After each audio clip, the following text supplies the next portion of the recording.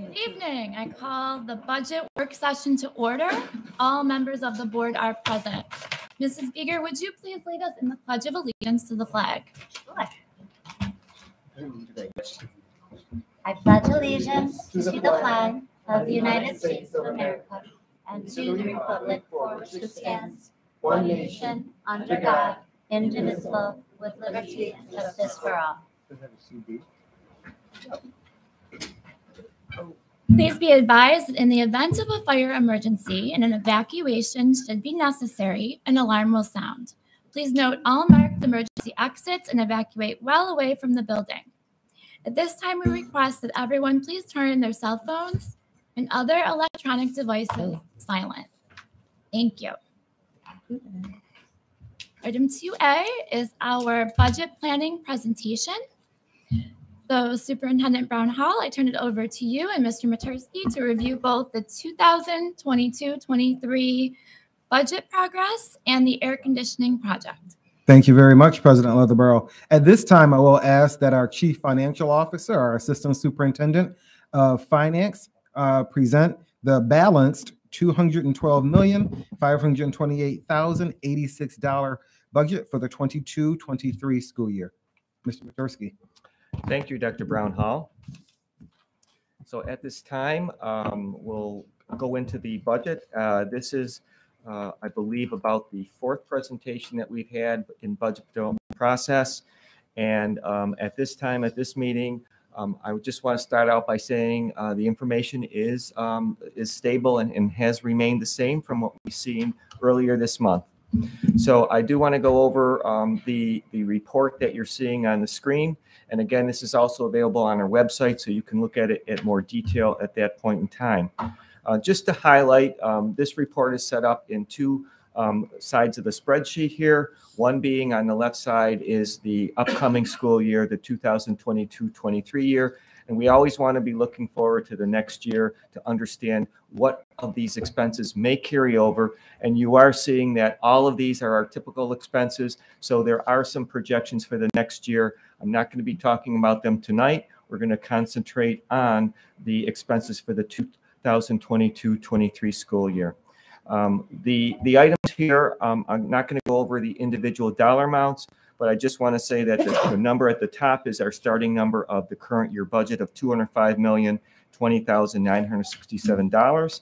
And then we have what we consider um, our major program um, support items, which are the, uh, the salary increases that we have, which is contractual. Um, that results in increases in our Social Security payments to the federal government, the FICA. That's about 475,000. Again, health insurance is going up um, as we've received information from our carrier and our consultants. Um, we also have retirement system increases, which are required to be paid um, to New York State for our certified as well as our um, support staff. Uh, we have our BOCES increase, and BOCES, for those of you who may not be familiar, is Board of Occupational um, Education Services, and that supports our students, it supports our administration. It's many different items in that budget, and there's increases there, as well as pupil, pupil transportation, our fuel costs and contractor increases, and then we have some instructional support items at the very bottom of about 338,000. So what does that total? Um, $7,602,119. And that provided a working expense budget of just over $212.6 million. So that was at 3.71%. As we went forward in this budget development process, um, we have the need for two additional assistant principals at the middle school level, one being at Transit Middle, one being at Mill Middle. And I think we all know those student populations have increased in those schools. So we're going from one assistant to two, and that's an increase of $160,000. Uh, we also have at this point in time retirements. We also consider retirements as a budget reduction and that uh, provides that reduction amount of $255,000. And so as we look at the totals here, um, all of those numbers result in a budget increase of $7,507,119 and a working budget of $212,528,086. That's a 3.66% increase. Going at the revenue side, again, for those of you looking at this on screen, um, it's probably very small, uh, but you can again go to our website. But this is the detailed revenue budget. I just want to highlight a couple major items here. First of all, state aid. The net change is 1.9 million plus 1.9 million. That's a good number, but actually there's a bigger story here. If you looked at this current budget year, you see we have almost $3 million in federal aid that was put in there that aid is no longer in next year's budget. And so as a result, really our state aid has increased $5 million. That is a very, very good thing for the district, not just for next year's budget, but for the future, because there no longer is a cliff that we would see when that federal aid goes away, which will go away in the following school year. Additionally, um, we have um, increases that we're seeing in our payment of lieu of taxes. That's essentially information that the school district doesn't truly control. It's from the um, IDA or industrial development agencies, whether it be Erie County or Amherst. Uh, so those provide us the changes in those, and we have an increase occurring in those agreements over the next year. Um, and we also have, of course, I think we all know this, we've seen it in the counties, um, uh, sales tax receipts, $1.6 million increase. All of those things result in, um, in, a, in a very good revenue situation for us, a balanced revenue budget to what I presented on the expense side. We have um, a tax levy increase that is under the tax cap, which is um, essentially at $3,410,000. So again, tax levy increase here is going to be at 2.55%. The budget increase is at 3.66%, and you see that the um, the budget is balanced at 212 million $528,086. And again, I uh, can't emphasize enough, there is not going to be any reliance on federal aid in next year's budget um, or the future budgets at this point in time. When we look at um, what this means to our tax bills, uh, looking at a house assessed at $250,000, there's three scenarios here based upon really where you are in your um, uh, in the purchase of your home. If you recently purchased it, you're not going to get a star credit anymore. You're going to be able to take a credit on your tax income tax bill, New York State income tax, and that results in about a $77 increase. If you have basic star, it's $68.35, and enhanced star is $57.61. The rate is estimated at $18.14, 31 cent increase, 1.73. But the important thing I need to share is that the information is based upon 2021 um, assessed values as well as equalization rates. We don't receive this information um, until it's normally July. And so that's why these rates will no more normally go down uh, rather than go up. So I wanted to share that uh, right now with everyone. So just a summary on where we are. There's a lot of positives with this budget. Um, no program cuts is number one.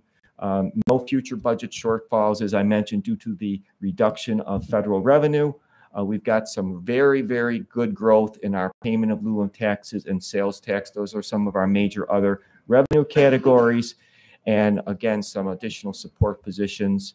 Um, and definitely we're under the tax cap, so it's just a simple majority vote. On the negative side, um, not a lot, but I always want to make everyone aware of the future. And the future here is will New York State be able to sustain the state aid increases a couple years down the road? Not next year, but a couple years down the road when their federal revenue starts to be reduced. So again, this is just a summary of where we've uh, done, uh, where we are on our, our budget uh, timeline and so forth. And what we're, uh, we have a budget feedback uh, for, um, item on our website. You can see it here. You can send any questions in um, and we will uh, certainly get back to anyone who has questions on that. So with that, um, this short presentation is complete. Thank you very much, Mr. Maturski, for all your hard work on this and for your updates every month along the way. Um, I will start on my left and continue on the table to see if there's any questions.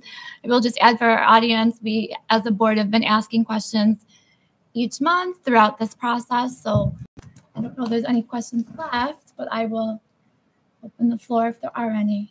Oh, I, I think I invented question, but Um, First of all, I wanted to uh, take away your thunder for a moment, but I'll thank Mr. Maturski and his team for presenting and all this information. Uh, first, I want to thank you. I had asked last time about uh, we've always for years used uh, a tax rate or the tax is 150,000 uh, is the property value, but as we all know, there's not much you can buy uh, in this Williamsville for that amount. So it was nice to see you raise it to 250. Mhm. Um, you know, as I always ask, we always try to balance uh, the needs of our students with uh, the taxpayers uh, and, and their expenses. Uh, you've allocated or shown very well the increases in the budget. Uh, you've only really mentioned one reduction in expenses, which was a teacher retirement. Uh, I know there have been others, and I don't know if now's a good time to just say maybe you could comment a bit on some other expenses we've reduced uh, in this budget so that, uh, you know, we have clarity on that. Uh, Very good question, Dr. Lippman. And what we do a- as we really initiate the budget development process is uh, there's a review of every single budget code. And every budget code is looked at from a couple different perspectives. It's looked at historically, especially pre-COVID, because COVID has had some ramifications on how the dollars have been um, expended and how the budget has performed. So we look at pre-COVID, we look at it, what happened in the last year, we look at what's going trending in the current year, and then we we kind of forecast for the future.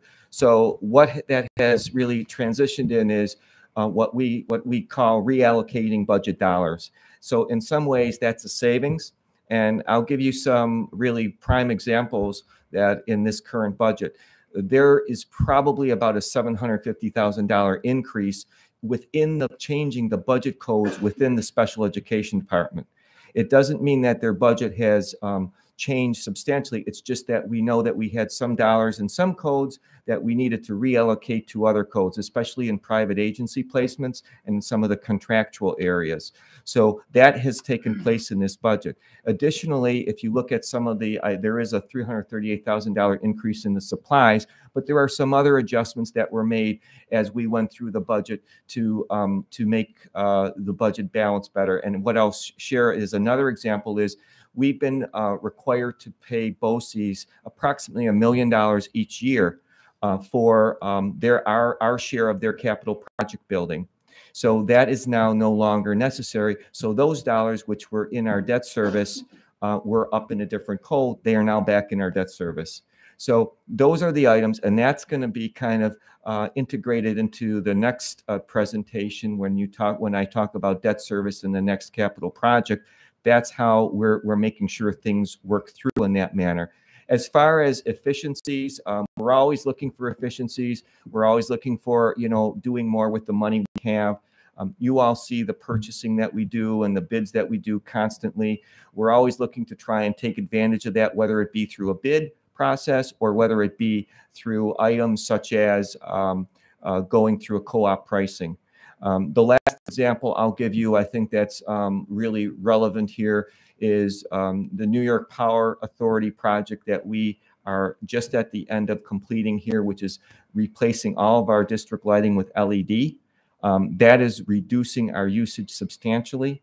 And, and again, um, that is kind of integrated into what might be a higher usage in the future um, with the uh, potential air conditioning project coming on. So again, it's balancing off our expenses in a manner where we don't have to increase the budget.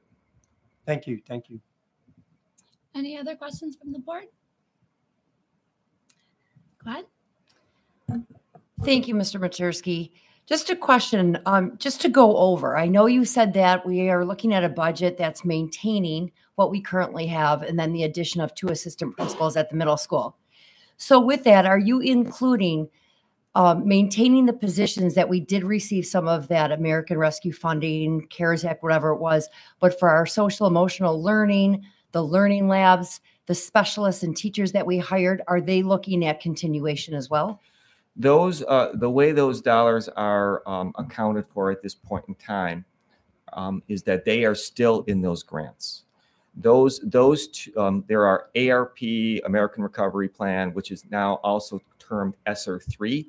We have ESSER two and GEER two. Those are the two, those are really the three grants that are accounting for those dollars. They continue into the next fiscal year and actually the a portion of the year after. So those are not in this budget. Um, there, that will be something that will need to be reviewed as we go forward um, into the next budget cycle to determine what we can do on reallocations. So I, I do think, though, knowing what those dollar amounts are in those budgets, they're not what I would call excessive for those programs. So I do believe there will be ability to do a review of what our current budget is and how it's performing, do some reallocations, and, and absorb them into that next year's budget development process without any reduction in those programs. Great, thank you. Thank you for that. Any other final questions on the budget? Okay, I think we are ready to move to the capital project. Okay. Mm-hmm. Grab this. Yep.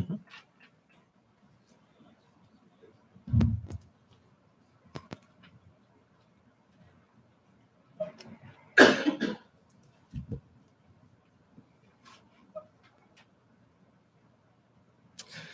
All right, thank you again. Uh, so this is a presentation on what would be a, uh, a new capital project. Uh, it's the elementary school air conditioning capital project. Again, um, we've had some discussions on this over the last several months, uh, and we have made a decision to phase this project, and with the elementary schools being the very first uh, phase of it. So again, some of the background here. Uh, there's a lot of positive factors, of course, to be doing this project, and there's a lot of reasons why this makes a lot of sense, especially at this point in time. I'm not going to go over all the details here. Um, in addition to this presentation, there also is a detailed executive summary that is on our website that is available for everyone to review. But I just want to indicate that I think we all have experienced the higher uh, temperatures in the fall, um, in the spring, and as well in the summer. And uh, a few years ago, again, prior to COVID, we actually had um, some very high temperatures um, in our buildings in September. And at that point in time, um, we, we actually had um, some very concerns about whether we should be holding school on those days. This is a report that was done um, and reviewing the temperatures from uh, NOAA RISA team from 1951 to 2012. It was the latest report uh, available at the time. Again, you look at 10 years from 2012, and we've seen even more increases. But this just showed the actual documentation of the review that uh, just said our temperatures are rising. Uh, when we look at the heat days and, and what the impact was, uh, again, we had temperatures in September that were 90 plus back in September 2018. Uh, at the same time, there were the uh, New York State United Teachers had contacted legislation in New York State and wanted to ask them to approve something called extreme heat days. And, and this would impact our calendar. Certainly, we plan for snow days, but this would uh, possibly uh, have an impact on the 180 day schedule. And it might be a problematic for us because, in addition to the fact that you would be off on a day, um, our buildings are, are masonry construction and they just do not cool down. If you've got heat in them, they do retain that heat. And that was one of the things we actually learned in 2018. So this is more than just looking at air conditioning. Uh, when we looked at this, especially coming off COVID, we wanted to make sure we were going to improve the air filtration systems in our building. And we were going to go with a minimum of MERV 13. There's going to be a lot of new duct work which these buildings are more, more, more, most of the elementaries were built in the in basically the 60s. So we're looking at 70 year old buildings here, and we're going to be able to do a lot to improve the mechanical systems, the delivery of, of air filtration in the buildings, as well as do some other items that are kind of tangent to this, such as some cabinetry adjustments and improvements in the classrooms. So it's it's a lot more than just doing the air conditioning, although that's the focus. There's some other tangible items that this will be improving in upon. The one uh, area that's not uh, elementary school um, associated but must be done is the electrical service for East High School. As part of this program, we had to look at what the capacities were for each of these schools as we were looking at it district-wide initially and determine if that had to be adjusted. And when we did that, we found that the uh, the original 70 uh, so uh, electrical service at East High School was um, at the extended period of its life and that we really needed to make sure we adjusted that. So that's about a $1.4 million number in this project. And it does need to be done so that we can maintain a constant electrical service in that school. So again, looking at what we're looking uh, for as far as this project, there are some factors here that impact how we came up with our cost estimates. And what I want to emphasize is when you're doing an estimated cost, you do not want to have a, a project budget that can't provide for the building of the project. That's the most important thing. So we did a thorough analysis. We had our professionals on board to do this. We had district um, integration in that process from day one. Um, we have reviewed the plans, gone back and forth, probably over 50 to 100 times. And as a result, we've come up with um, a, a, list of items which we wanted to make sure were integrated. Again, I'm not going to go over all these items, but you can know that we did a thorough analysis to make sure that this budget, which you're seeing here, is going to support the program. Uh, so as you can see, um, the budget is essentially $62.7 million for the elementary piece alone.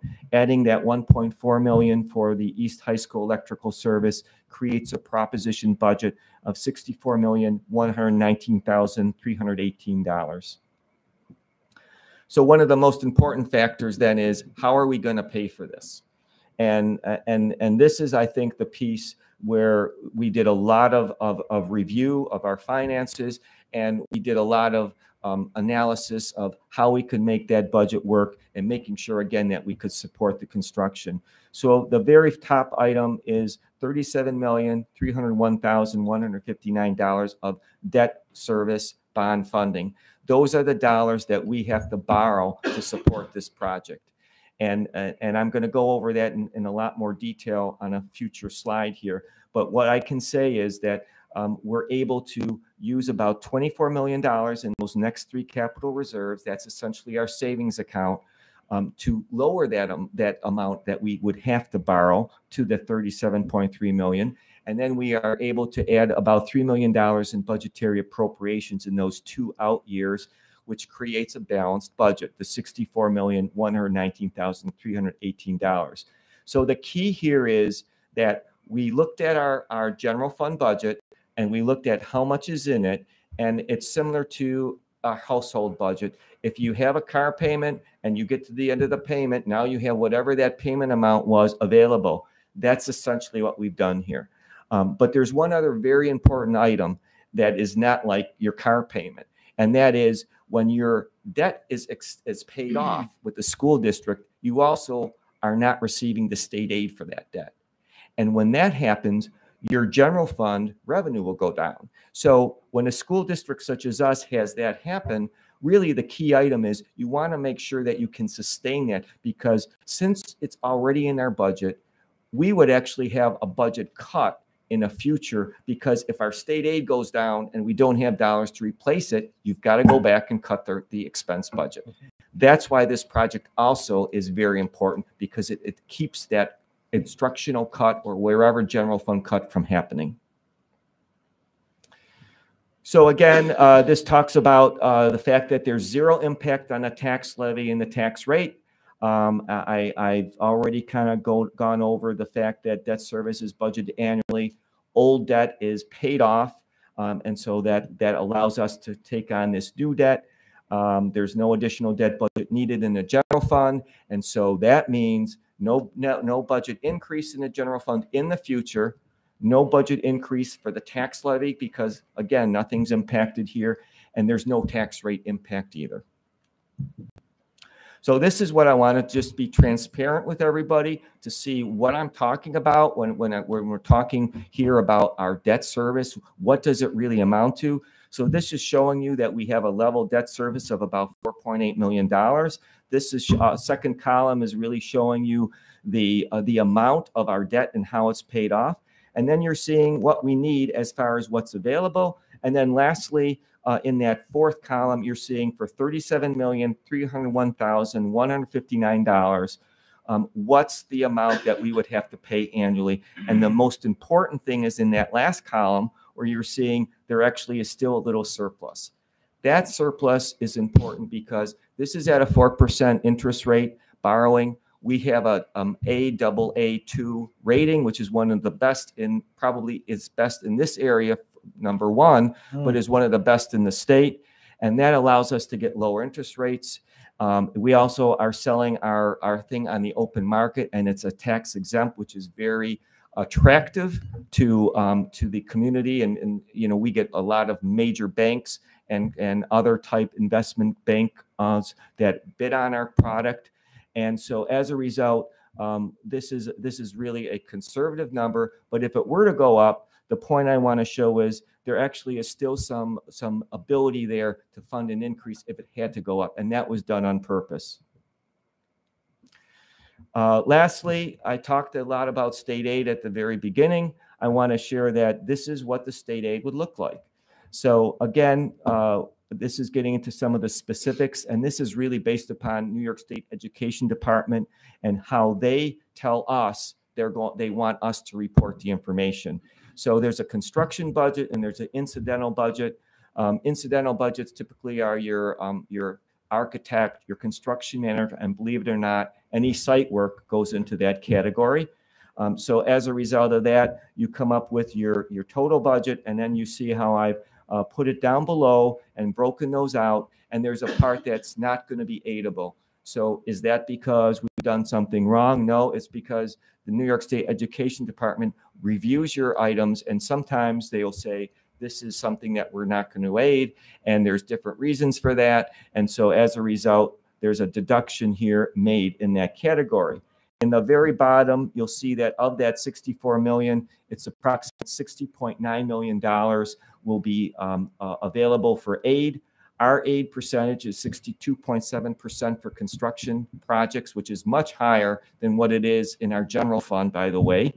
Um, and that results in $38,192,672 as an estimated state aid amount for the entire project. Now, the state pays this over 15 years, so that will result in an increase, in an annual increase of $2,546,178. And that's the piece that will actually come back and help us in those future budgets. So again, just kind of reviewing, um, you know, what this is about. Um, you know, the aid will go on for 15 years. There's no general fund debt increase as a result of this. Um, and so as a result, you're not increasing the debt budget is what I'm talking about there. This means that the revenue side supports programs and you're not losing anything. And, uh, and again, this is what will keep the, the general fund budget stable in the future. So with that, you know, the next question might be, okay, if this is approved, when, when will this all happen? And, uh, and this is the timeline. So uh, this is all really um, structured by New York State because we will then start the actual construction document design in June, this June. It will likely go right through the end of the year with plans being submitted to the New York State Education Department in January 2023. Um, and then the State Education Department, uh, they take several months to do a review. And so we're expecting um, approval to come in sometime around September 2023. And then uh, the bid process occurs. These are publicly bid projects. That would be October, November, and you would start construction likely in April 2024, and it would go on for two years, uh, be completed thereabouts in August 2026, and uh, with a final project completion likely to be December 2026.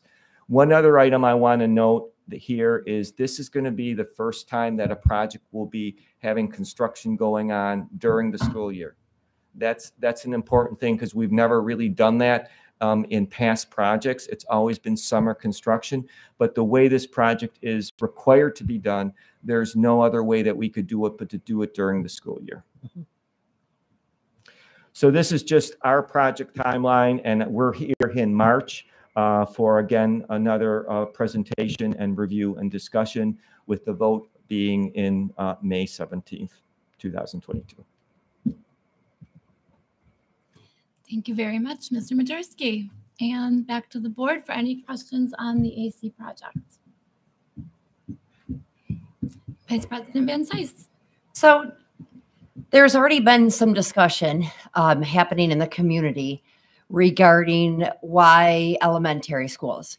So just two questions that maybe you can you know, share was first the rationale for choosing to do the elementary schools 1st Mhm. And is there going to be a phase two and a phase three or other phases that will include middle school and high school? Uh, excellent questions, of course. And the answer is that as we went through this and we know how um, the younger students are impacted more severely by the heat and, and especially we've seen it during the school year, you know, we've seen it in summer school especially. Um, and, and, and in fact, um, as you may know, our summer schools now over the last few years, we have moved them from elementaries because they're too hot in the summer and we've moved them to a middle school and that's not necessarily the right location for those programs um, it, it, it, there's a lot we we do the best we can we do a lot of moving of furniture and everything to make it work and we would continue to do that but it's not the best so going back to this project it made the most sense to start there and make sure that we get those buildings um, uh, rectified and air conditioned as far as the next phase, um, I, I, really think the next phase is one more phase. I don't think it's two. Um, if you think about what the total cost will be, it'll probably be similar to this for the next two uh, middle and high together. So my, my assumption would be when you're into about 2025 in this construction timeline, that's when we're going to start to think about okay how did it go? Where are we in construction? And start to think about a new proposition for the balance of the school district and remember, uh, we do have East High School completely air conditioned, Transit Middle completely air conditioned, and the Casey Addition completely air conditioned. So it's not really those other buildings, it's a smaller scope. And, and that's why I think you're going to see one more proposition happening in 2025. Thank you so much. Thank you for that. Mr. Bisceglia? Um, after hearing that it, it will be construction during the school year, have we thought or developed any plans moving forward so that doesn't disrupt disrupt uh, student learning, especially at the elementary level, um, including any constructual issues that may occur that you know might not be safe for students when they're in the school? Definitely. Um, the the current budget actually includes the usage of portable classrooms. So uh, we definitely want to keep students safe. We we know that um, the way it's it's somewhat planned at this point is you would probably be taking a few classrooms um, out of service at a time. Um, construction would be happening. It, you might close down a wing, but it it will definitely be something that will um, consider the safety of students and staff as the utmost concern over anything. And yet, the portable classroom model actually is being used in North Tonawanda right now. So there's actually school districts in, that are using it now. Um, and so we've actually looked at that and we know that that would work here. Uh, we know it's a proven method for safety as well as, as learning. And these classrooms are not like what you would have seen in the, you know, um, what if anyone's familiar with what was at Heim Middle, for example that was a little tin building that was there that was these are no longer like that. These are really almost like customized buildings. So that's one way. We're also talking about ways that we could possibly maybe not even need portable classrooms by um, changing the way we're going to do the work on second shift and allowing the work to still happen, clean everything up, and and the teachers would not even realize, um, you know, to a great extent that the construction has been occurring at night in their in their area. So that's portable classrooms is in the budget in this budget, and that's how we proceed right now. But we're we're not going to just stop there. We're we're going to be asking other questions if this is approved on what the best way is for instruction as well as construction. Thank you. Final thoughts or questions? Mrs. Baker? Yeah, uh, I appreciate what you shared about um, the ability to fund an increase if the prices are to go up. One of my initial concerns was, you know, we've seen over the last couple of years, some prices skyrocket and different things, and and who knows what's to come in the future. So I really appreciate that that is built in there to give us a little bit of wiggle room. Um, I'm just wondering if you can share. You went through um, at length, and it's much appreciated how we plan to fund this for people uh, who are here at our community forum tonight or watching. Um, can you just clarify for them again when they go to the polls if they see this as a capital project? Um, if they vote to approve this, will there be any increase in their tax bill as a result of this project, or does this have no um, increase, um, any effect or impact on their tax bill?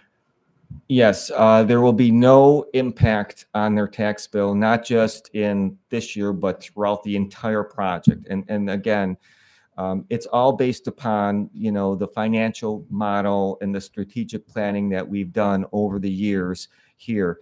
And, and one of the other items that allows us to do that, just so that um, you know we know, is that we're able to sometimes pay down debt also.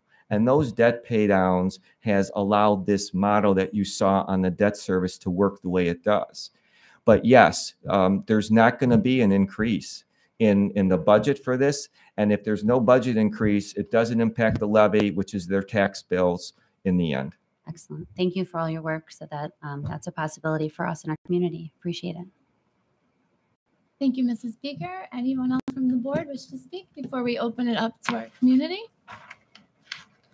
All right, we're so happy to see so many people here tonight. At this time, the Board of Education welcomes anyone in attendance who wishes to speak about the budget to the podium at this time.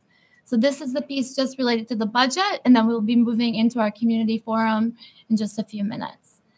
Anyone here tonight want to come to the podium and ask a question or raise a concern, give a, give a comment about the budget process or the air conditioning project?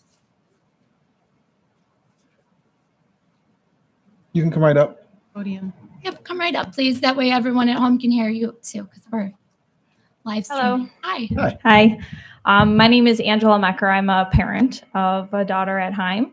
And the question I have is in regards to doing construction in homes that are built prior to 1978 and the um, concern that they may contain lead paint, um, especially if construction is happening actually during you know active school hours. Uh, how are we going to make sure that that's not something that's exposed? Because once it is um, you know, if there's drilling and ductwork being put in, how is that going to be um, done in a way that is safe for our children?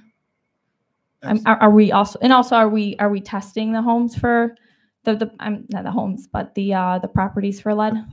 absolutely. So as uh, Mr. Maturski stated, that's our ultimate concern, right? Making sure it's safe for not mm-hmm. only our students, but our faculty and staff. Mm-hmm. So a great deal of testing takes place, air quality testing, samples testing okay. to make sure that whatever we do is safe for our students while the construction is going on before and after. Absolutely. Okay. And I know um, environmentalists can be really pricey. So is this already in the budget for the testing? Mm-hmm. Is this already estimated? Yeah. Yes. Okay. Yeah, and it can be pricey, but you know, for the safety of our students, it's you know, okay. no cost too much. So thank you very much. Okay, thank you. Mm-hmm. Thank you for that question. Anyone else? Okay. So at this time, may I please have a motion to adjourn the budget work session? We will take a five minute recess and then begin our community forum. Dr. McCleary, thank you. And Dr. Lippman, second. All in favor? Opposed or abstentions? Seeing none, motion carries unanimously. Thank you. We're just going to take a five minute break and then we'll be right back.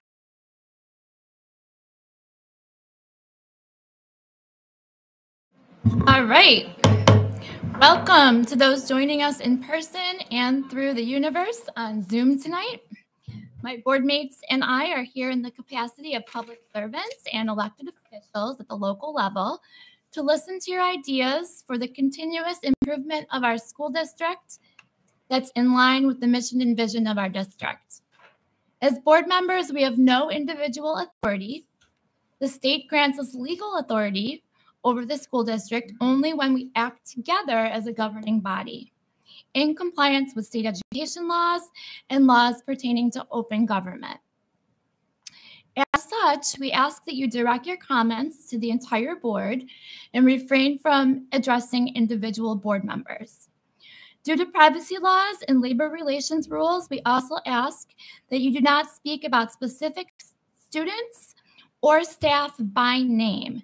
Instead, we invite you to schedule a meeting with the appropriate administrator if you have a specific concern related to a specific student or staff member. Board members Bisceglia and Dr. McCleary have agreed to facilitate tonight's community forum. Mr. Bisceglia and Dr. McCleary will alternate between questions from the audience, pre-submitted questions, and questions from those participating tonight on Zoom. We will do our best to listen and respond to as many people as possible and plan to conclude around 9 p.m. We do ask for your patience. This is the first time we're running a forum where we are um, addressing people in person and on Zoom and entertaining pre submitted questions at the same time. We tried to be as accessible and accommodating as possible. So, thank you for your patience as we do our best to get through this. Please be considerate of your neighbors who may be waiting to speak and limit your comments to three minutes. And as always, we are a community rooted in love, kindness, and respect. We teach these behaviors to our children and we lead with example. We will show this to you and we ask that you do the same. So, Dr. McCleary and Mr. Bisceglia, I turn it over to you to facilitate tonight's community forum. Thank you. Thank you, Mrs. Leatherbarrow. Um, let's begin this evening with Jenna Block and Lena Galante, who are um, students of South.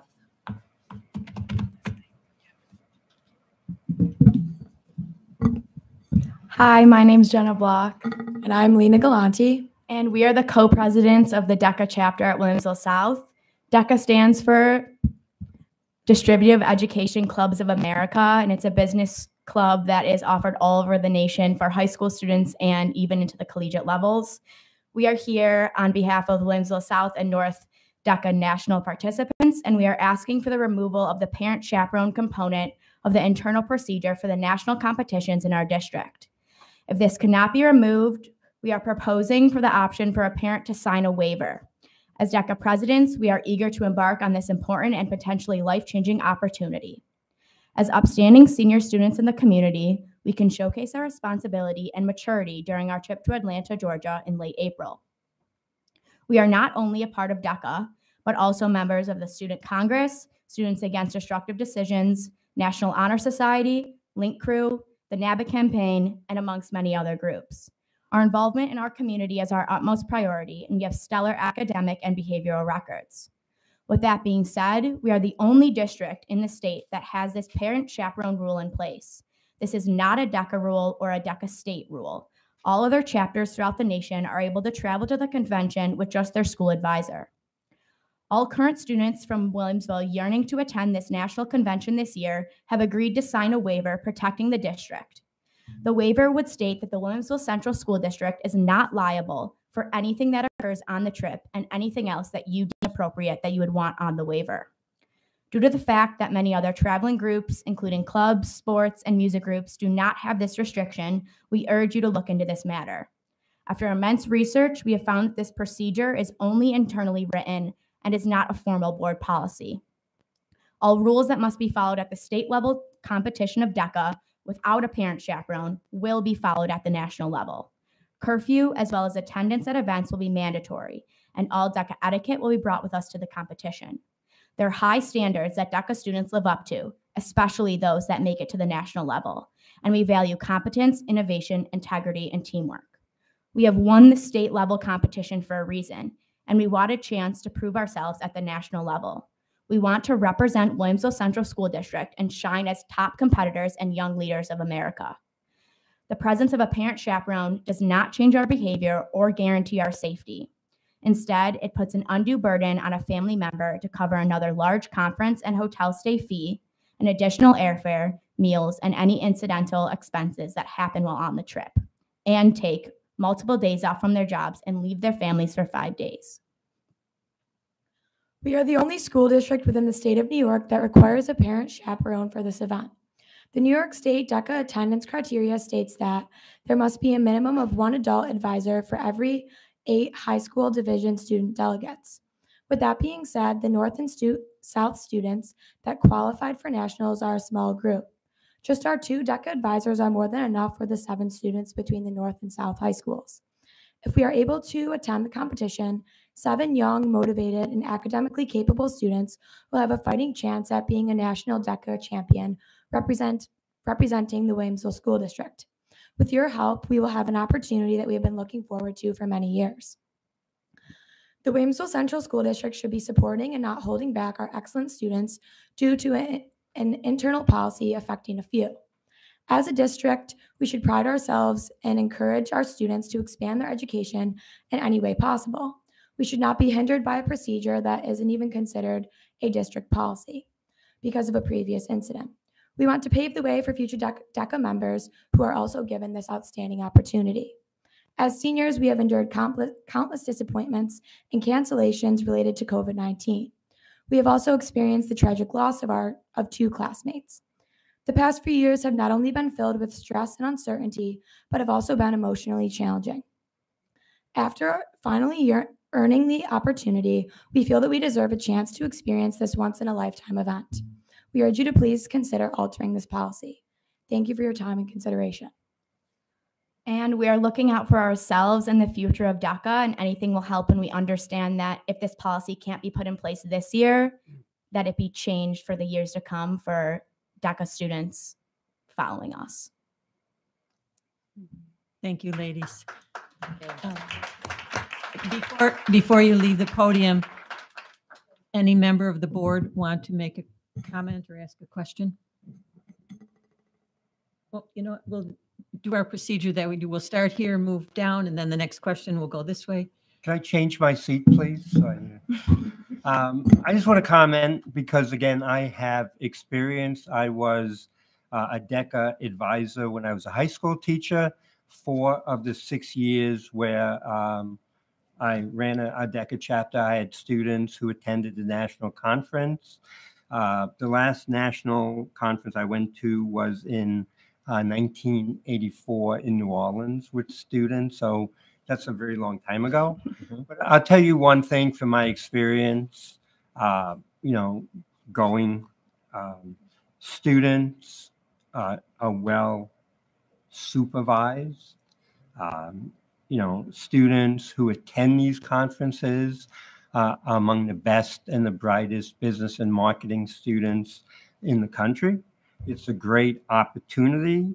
Uh, we're talking about, I worked in the state of Georgia at that time. And I'm thinking in the 1980s in Georgia, we did not have parent chaperones. This is the year 2022 in Williamsville. Uh, I don't um, believe that uh, that policy or you know that idea uh, is a 2022 issue. So again, I'm supportive of your uh, success. And I would believe going with your DECA advisor under their supervision and the supervision of all these uh, DECA uh, leadership that you will be successful and you will be safe. Thank you. Thank you. Um, I saw Mrs. Leatherbarrow. Is there anyone else before Mrs. Leatherbarrow? First of all, I just want to say congratulations. That's a huge accomplishment, and everyone here clapped for you. And we, we share in that. Congratulations. We're very proud of you for that. Are you the same girls that wrote us? Because we did receive a letter about us. Okay. So when we received your letter, we did immediately reach out to Superintendent Brown-Hall, which is the protocol when a board receives a concern or complaint. We always go through our superintendent. Um, so Dr. Brown-Hall, if it's okay for me to speak about Sure, our email exchange. Um, one of the questions that I had, and we spoke on the phone about this as well, is, you know, how does this differ from an athletic event or a school club? I've had three children go through the schools. They've traveled for athletics, they've traveled for clubs. You know, why would this be different? And how does the liability for our district change? And so that was something that we were asking our superintendent to look into with our attorney. Mm-hmm. Are you prepared to speak on that at all yet, or do you want to wait? Or Right. Well, the, the attorneys are still looking into it, but you, can I just talk about the one point you brought up about the liability and sign, signing of waivers?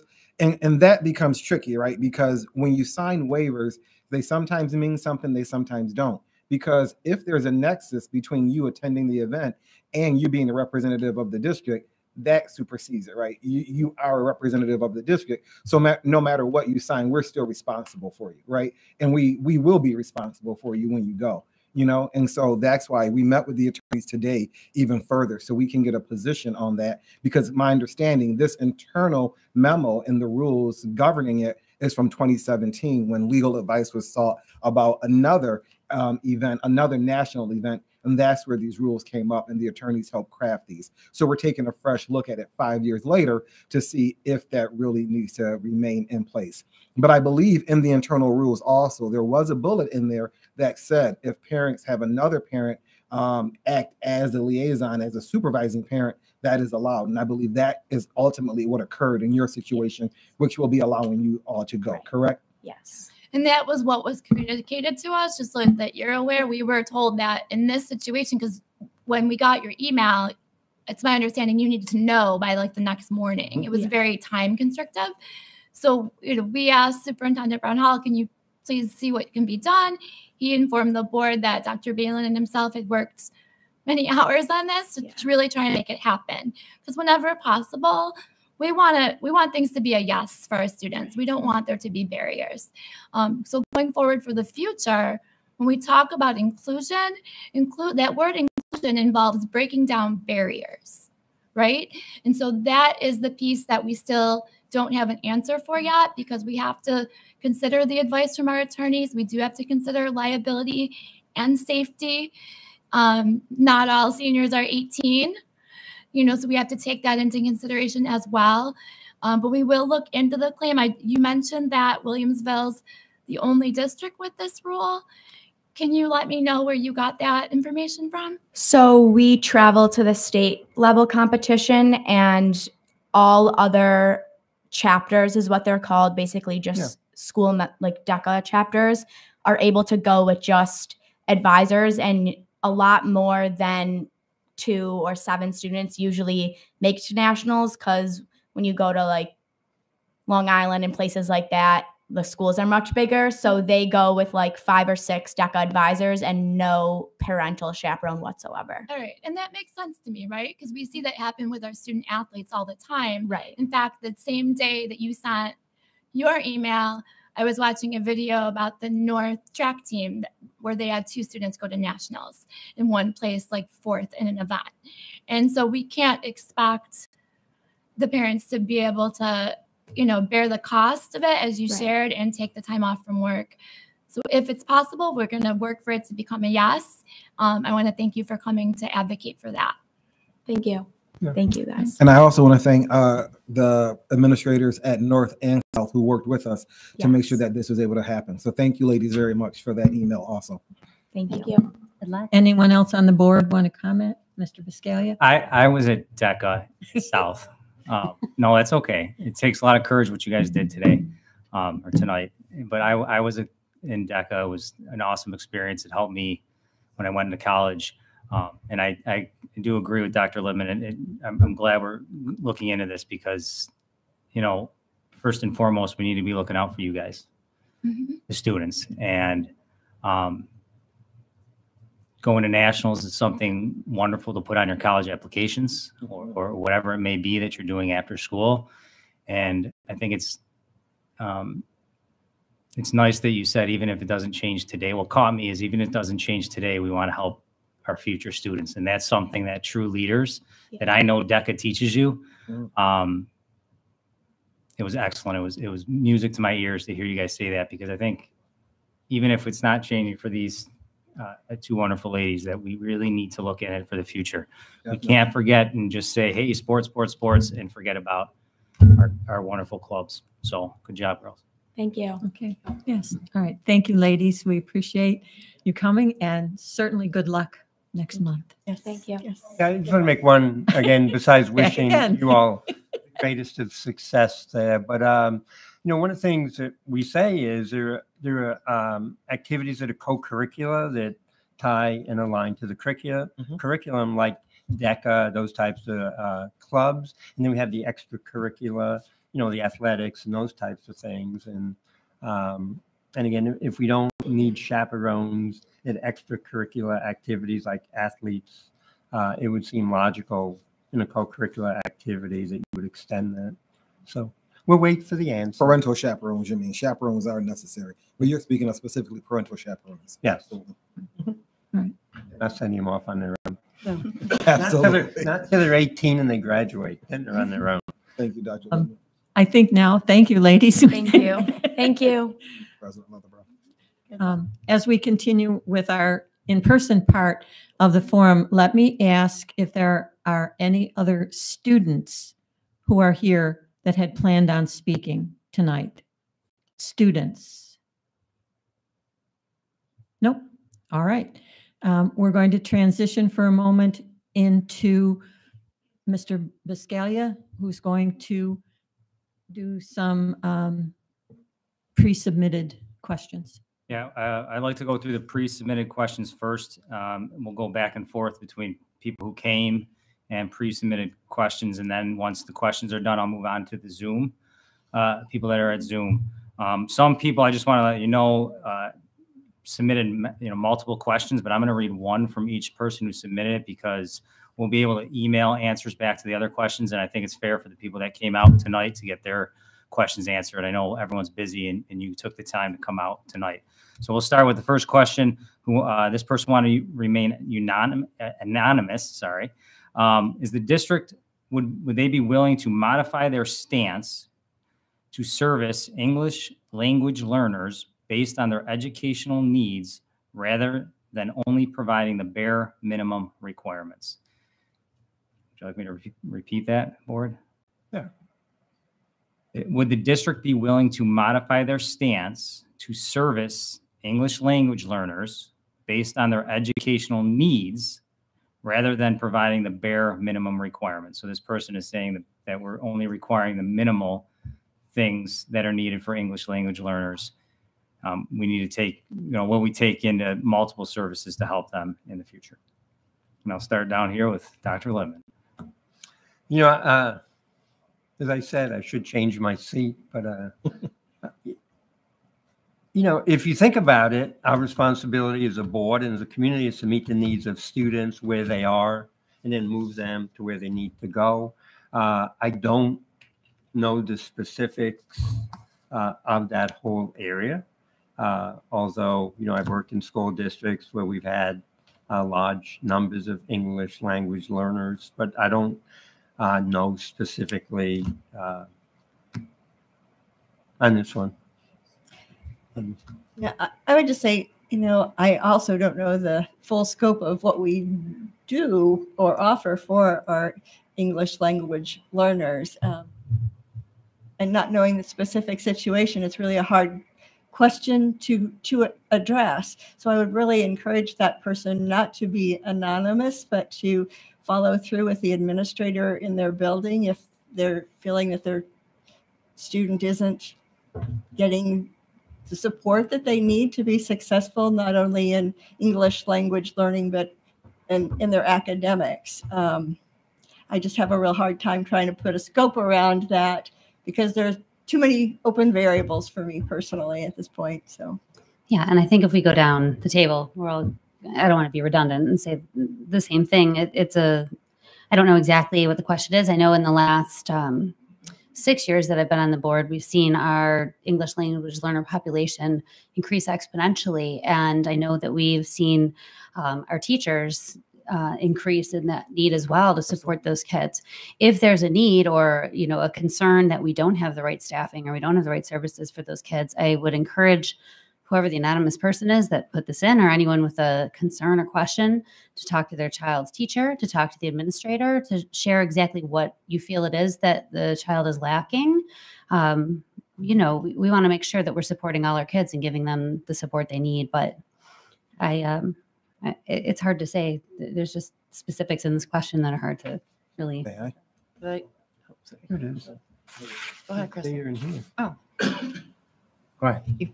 Um, I just, I just wanted to mention that, um, when Dr. Balin gave a presentation in January on the academic intervention services, there was also discussion of that, that including English language learners and having additional supports for them. So I, I'll just say that in addition to what has already been said.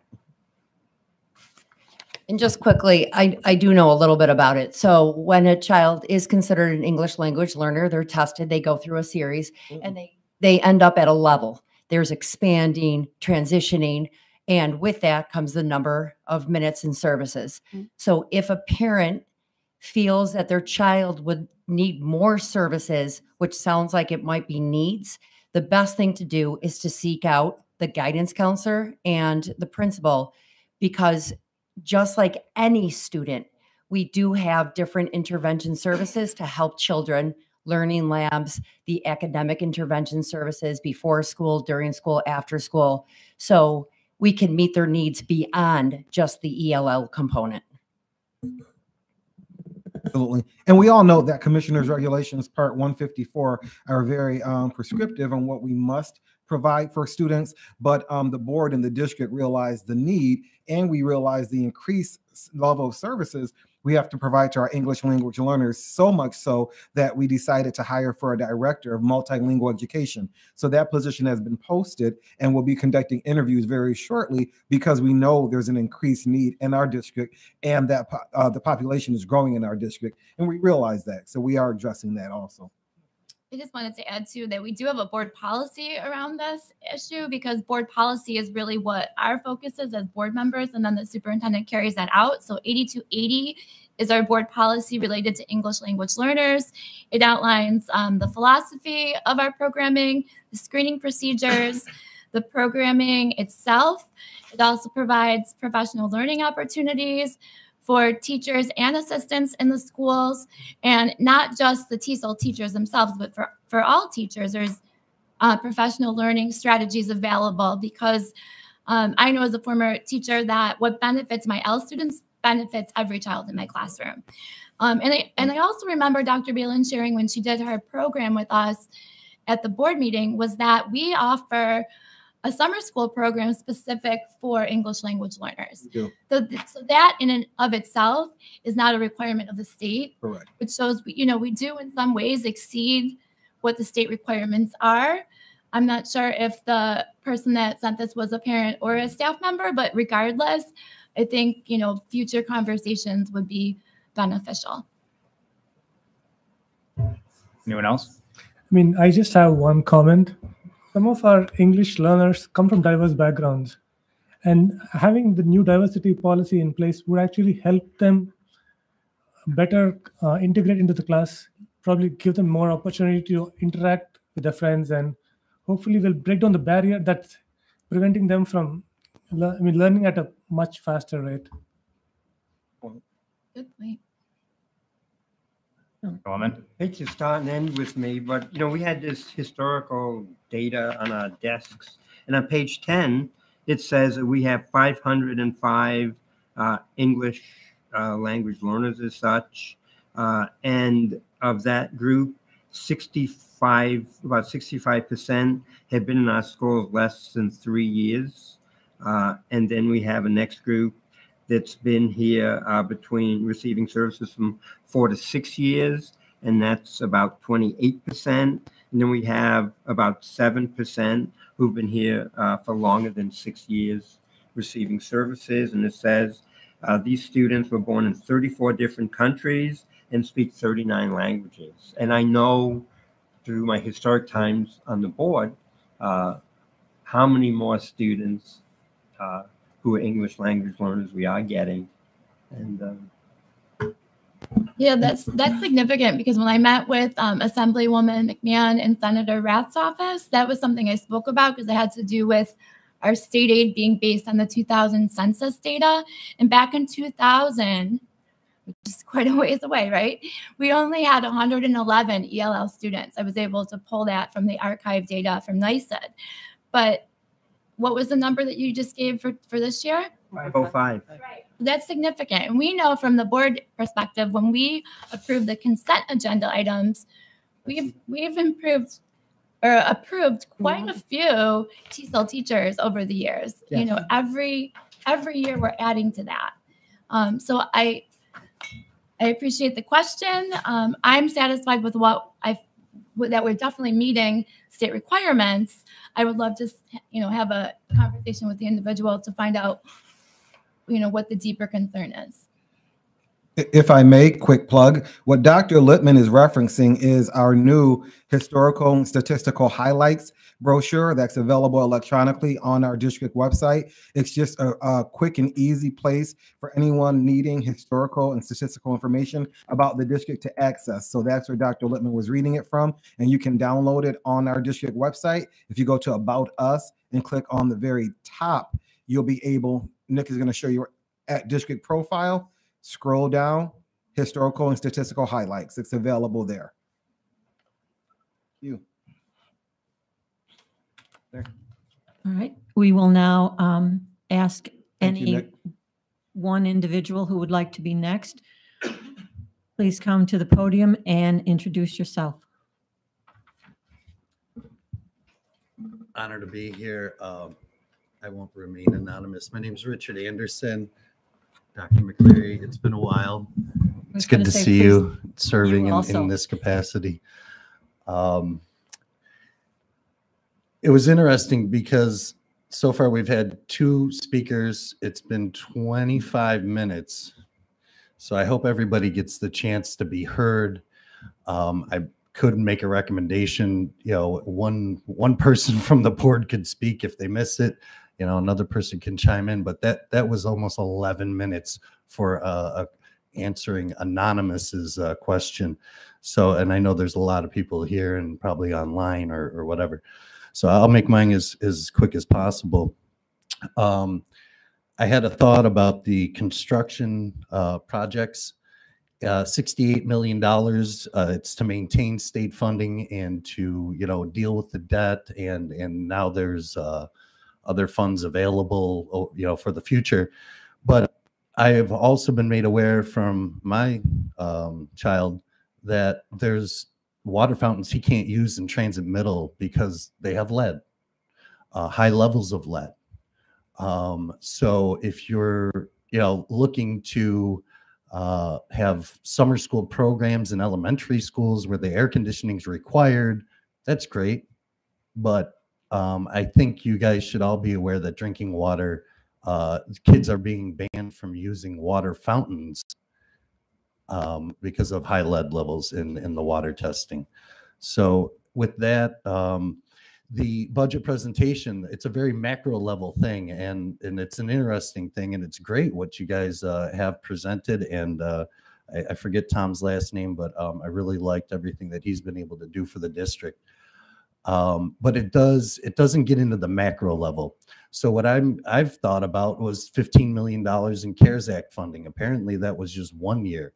Um, I did the math on that. That means every student should have spent per capita about $1,300. 20% of that, you guys know, is mandated for learning loss. So if if I'm a parent and I look at a child, I, I don't know about you know how you move six million dollars here and five million dollars there, and and we're planning to absorb these costs in year three. I'm thinking the federal government wants at least thirteen hundred dollars invested in one child. So so you, you do the macro budget presentation, but where is where is any money? I mean, you know, I, I know my my, my um, child didn't arrive at school with a mask a couple times. Well, there's there's ten to fifteen bucks worth of masks you guys bought. You know, well, where's the other twelve hundred and eighty-five dollars?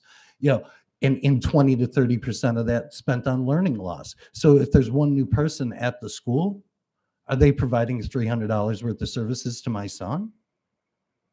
I don't think that anybody up here, I, I don't know if you can answer it. I, and please don't everybody try to answer it um, because I'd like everybody else to have an opportunity to speak. Thank you very much. Thank you.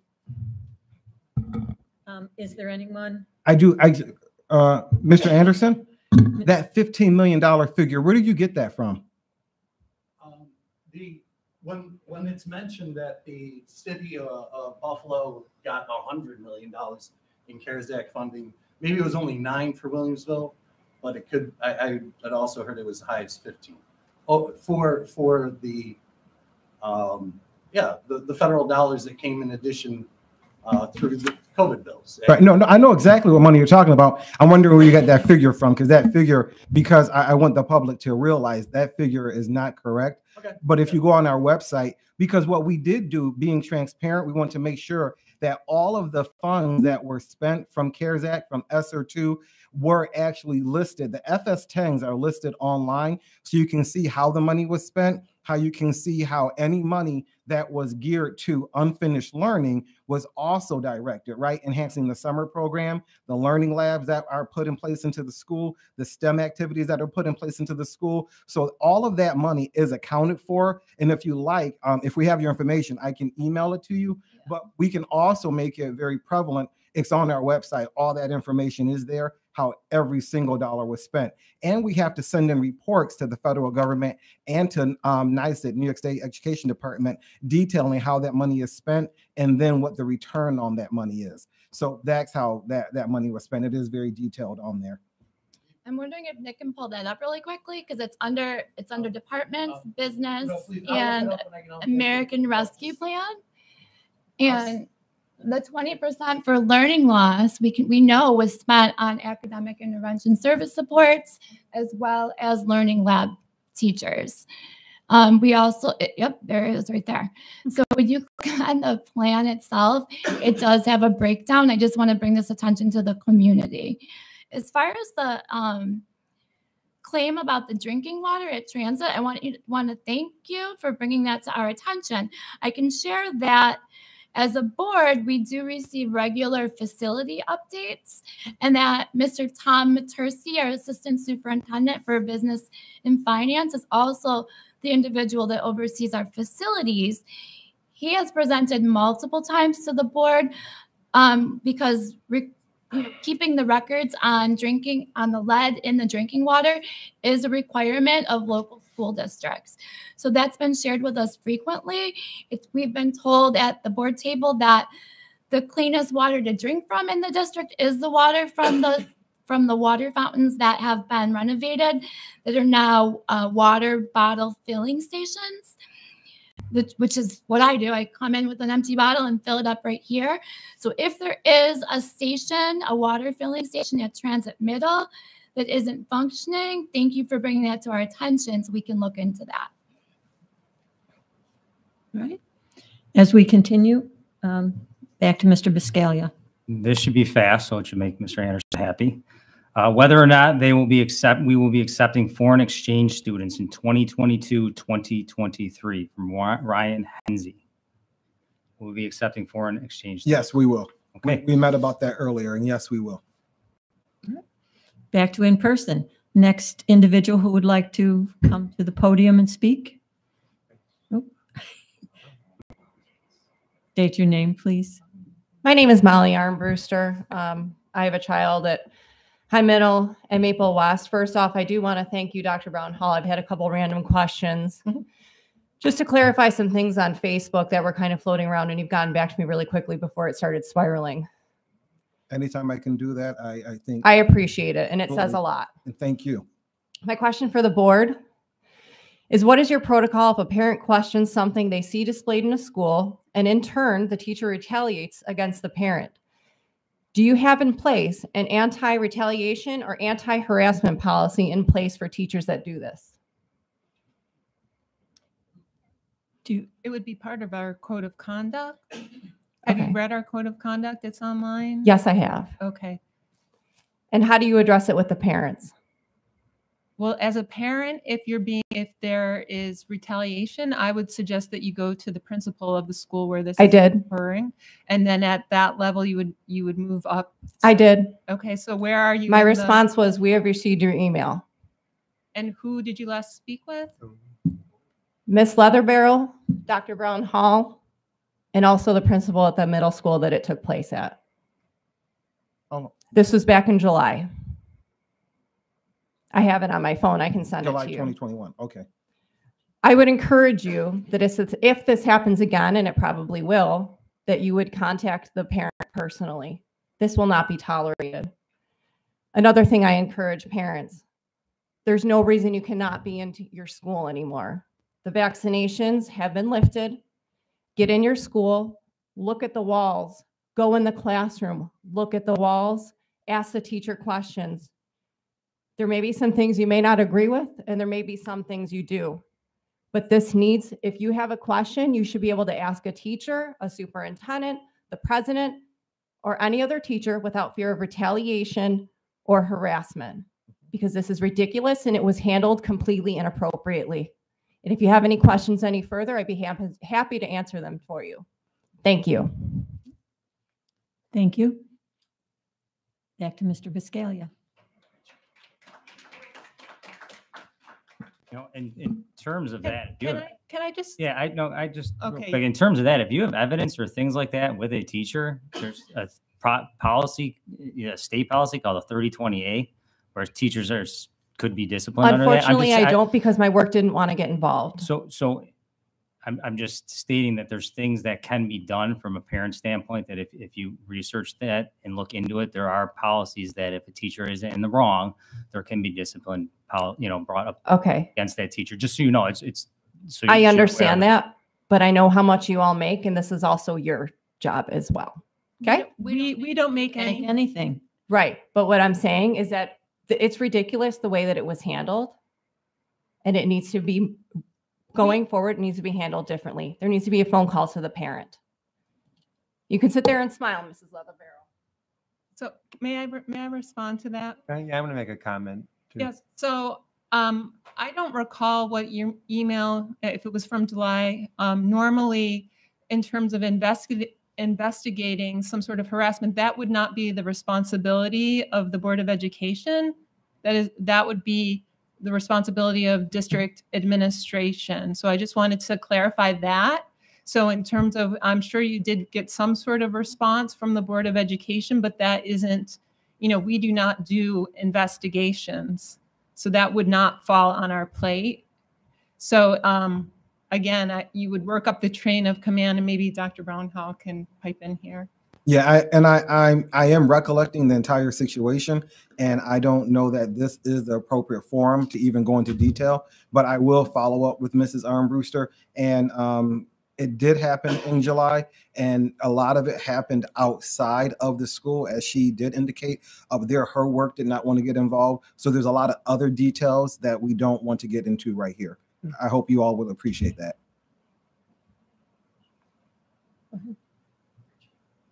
All right. All right. Uh, next question was, uh, how will the district examine and correct the disparity in class size between college credit courses and the rigorous AP courses?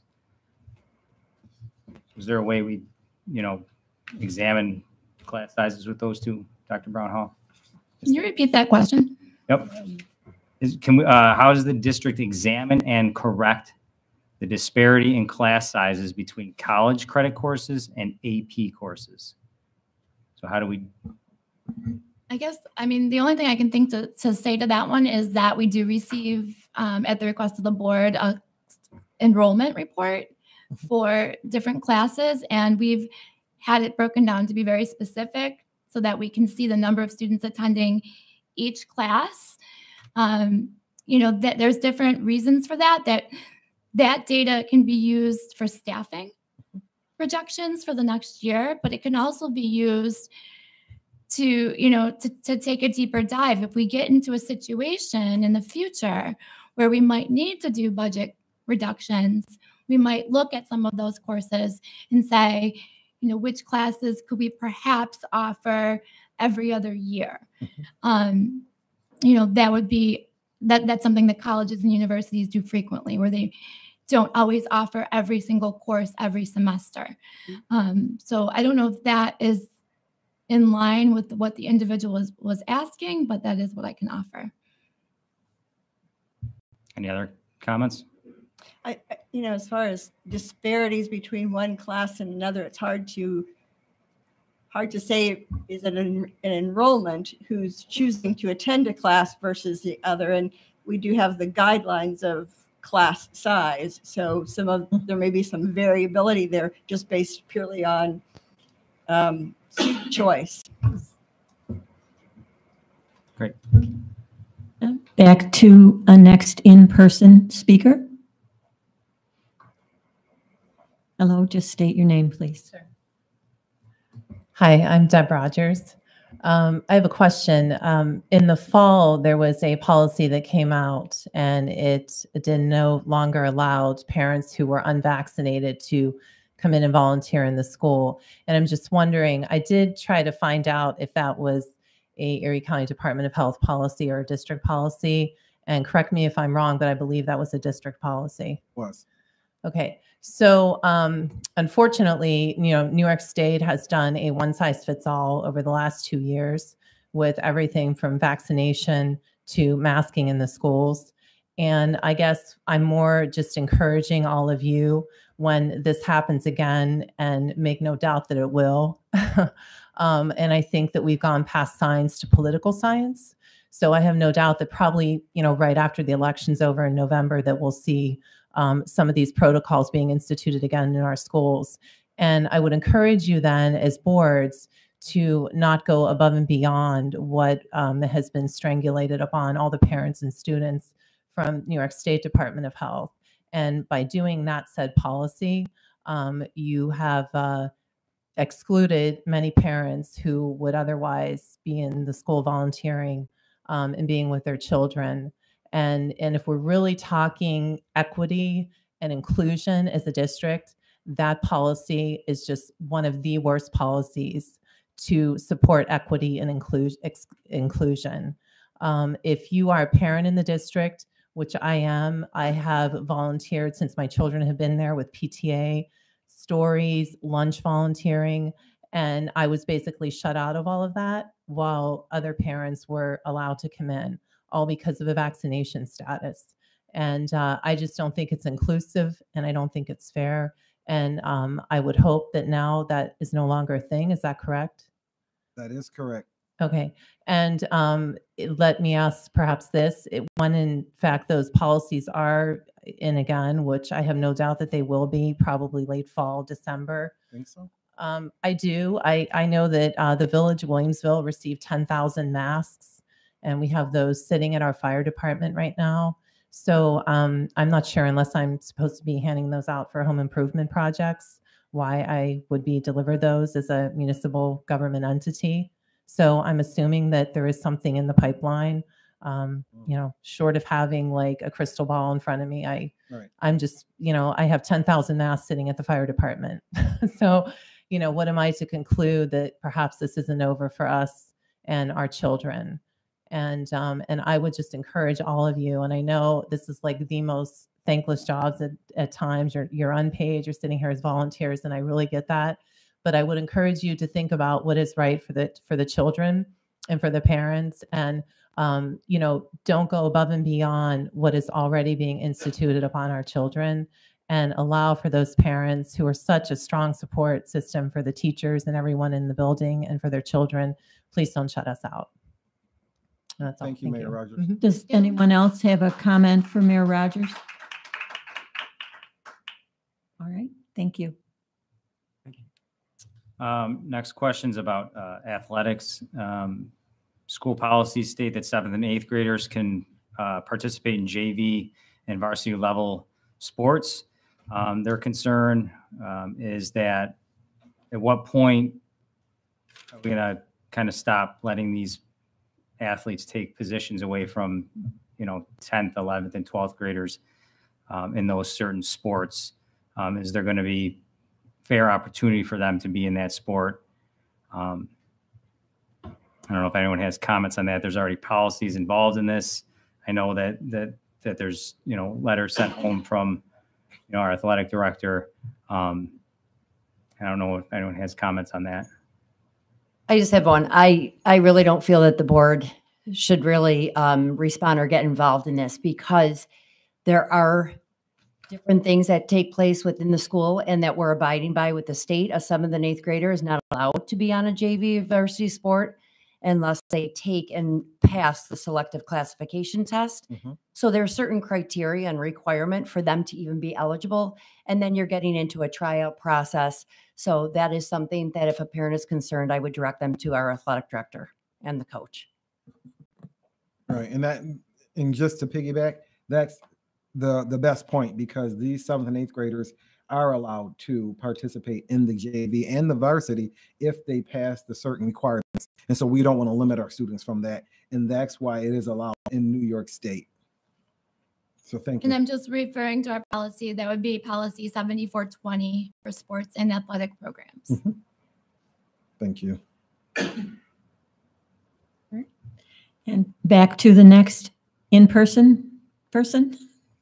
Person, person. State your name, please. I'll be that. I'll be that person. Okay. Uh, Kim Rice Weber. Thank you guys for allowing us the ability to actually have feedback from you. That's very nice. Thank you.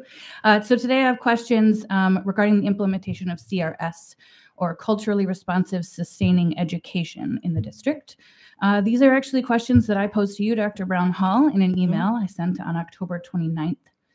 On November 2nd, you responded that you couldn't answer my questions through email, and that, quote, when we move forward and begin to examine curriculum and any changes that we will move toward in Williamsville, there will be greater opportunity for question and answer. Almost five months later, that opportunity has not come to fruition.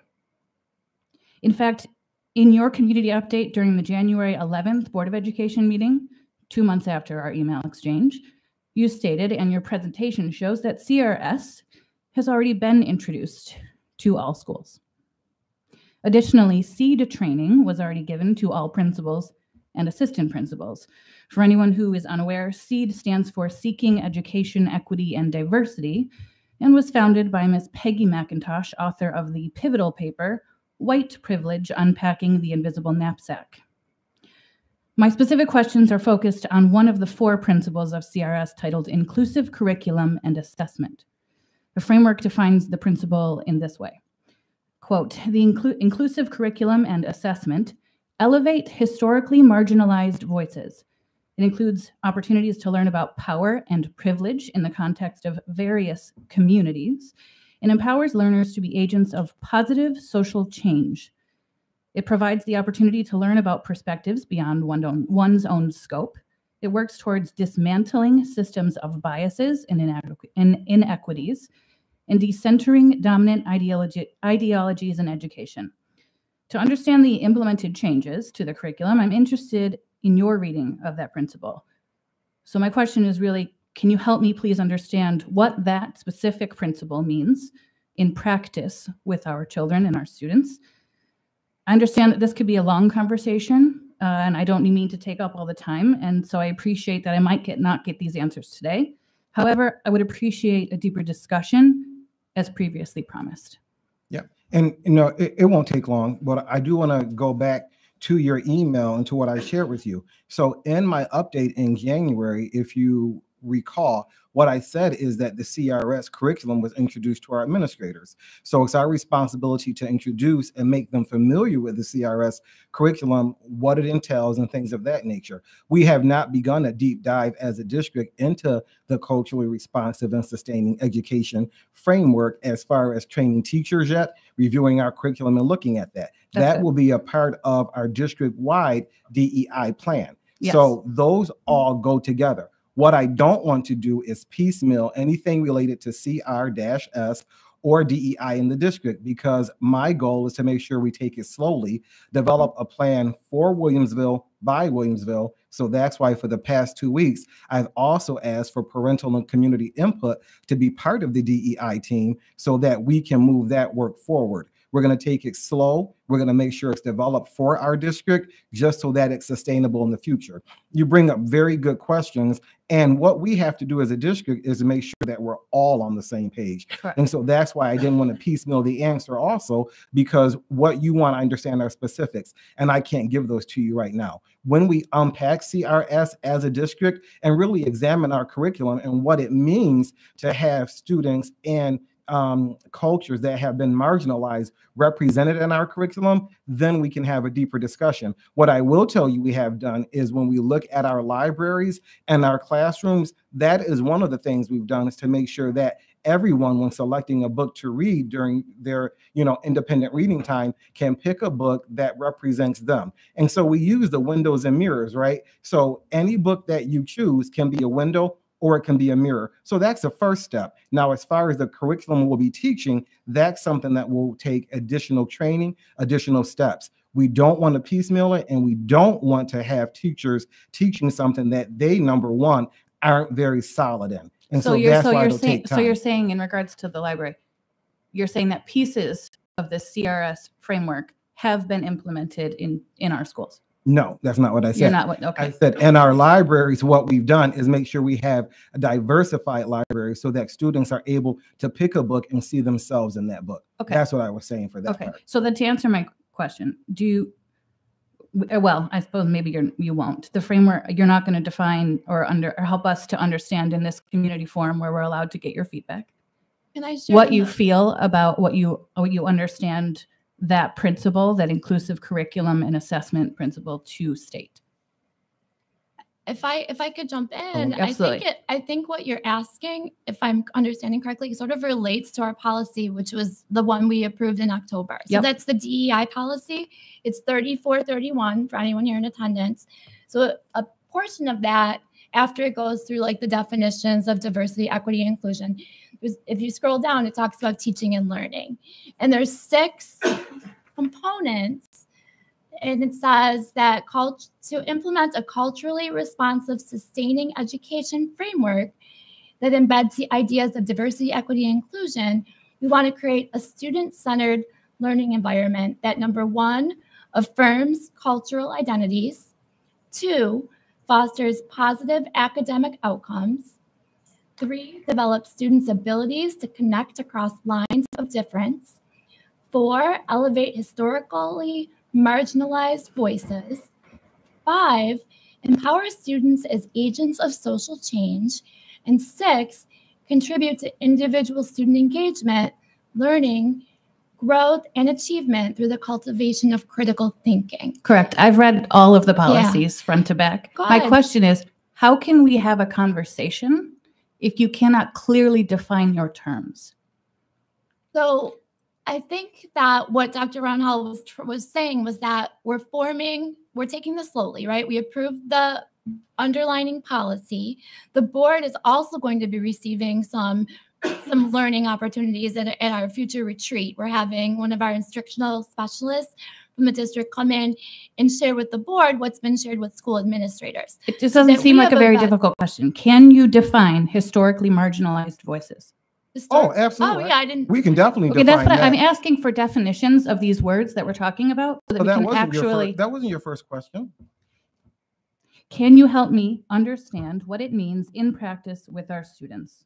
Absolutely. So when you say marginally, de- marginally defined voices, what that is are that are cultures or groups of people that have been underrepresented when we're teaching about history. Okay, Mm-hmm. thank you. Um, and if I could, if I could just do a round robin, it's one word answer. I promise I won't take one of your time. If you could all answer this question, do you think that parents should be involved in the curriculum being taught to their children? Dr. Littman. Yes. Parents are going to be involved in these committees, so yes. So do you, you think they should be involved? But we have state guidelines, so within the scope of the state guidelines that we have to follow, Of course. parents will be involved. Parents are involved in all of our curriculum committees currently. Okay. Yes, we have um, vehicles set in that so parents can give input. Yeah. Great. Yes, and it's already happening with curriculum council and then the additional committees that we are putting in Perfect. place. Yes. Yes. Yes. They already are involved. Yes. Yes. Great to hear. Thank you. Thank you. Back to Mr. Bisceglia. kind of ties into what we were just talking about this question. Uh, what is Windsor Central School District's position on CRT? And are there any plans on incorporating CRT into the curriculum? Can students opt out of these programs? Yeah, I can just start. I, Good. Go I believe Buffalo is the only school that is, and I might even be wrong about that, uh, implemented CRT. And I hope people know there are two. You you you are you are wrong. I want to stop you right If I there. said maybe yeah, wrong. Yeah, because yeah. most people don't even know what CRT Two- is. there's right. Right. Two definitions. It depends. Absolutely. That's what I was gonna say. and- yeah, no, no, no. And CR, CRT. Now, there's a difference between co- critical race theory and examining examining the role of race and history critically, right? two different things. So CRT is taught at the college level. It's a law course. It's not something that we're teaching here in Williamsville. Will we be examining the curriculum to make sure that those marginalized voices, as Kim stated, are um, represented in the curriculum? Yes, we will be doing that. However, it's not CRT. That's, that's what I was going to say. There's Yeah, and critical this- race theory, and then there's critical responsive teaching. too. Right. And um, the Board of Regents made it very clear that CRT is not part of the New York State curriculum. Uh, That's what I wanted to share because Okay, I'm I, sorry. I we had we saw this question at a time, so I was able to look it up. It was actually Chancellor Dr. Lester Young mhm. who spoke on this, um, and I pulled up his article in Education Weekly. Um, I know as an educator that cr- that CRT is not taught in K through 12 schools, right? Um, but Dr. Young, who is one of our regent chancellors, he said specifically our policy, New York State Board of Regents policy on DEI, is not an attempt to teach critical race theory. Critical race theory is not our theory for action. Our theory for action is cultural responsiveness. CRT is not taught in K through 12 schools in New York State. And so that was directly from the Board of Regents um, with Chancellor Chancellor Dr. Uh, Lester Lester Young. Young. Mhm. Um, he also went on to talk about how, you know, the role of critical thinking is important and that when we have these higher level conversations, we consider the age of the student. So the um, exploration of higher education theories is confined to higher education, graduate schools, as well as professional schools. So these are the places where you would be taking these types of courses and having these more higher level thinking discussions and dialogues. So, you know, so when we get a question like, why is this being taught? We got to back up the train because it's not. And I think that's really important. And, and when we form the DEI committees, I think that's where those, you asked a really great, great question about how can we have these dialogues, right? We don't want to be like this with each other. We want to just be able to share freely what our concerns is, what our what our fears are, what our beliefs are for our kids. We all want our kids to feel welcomed and loved and safe and we want to have a little bit of control as parents, right? I get that. And um, I think when we get these committees going in the buildings, I think we're going to start to see that shift, and I'm really hopeful hopeful for that, and I'm hopeful that you'll you'll join up as well.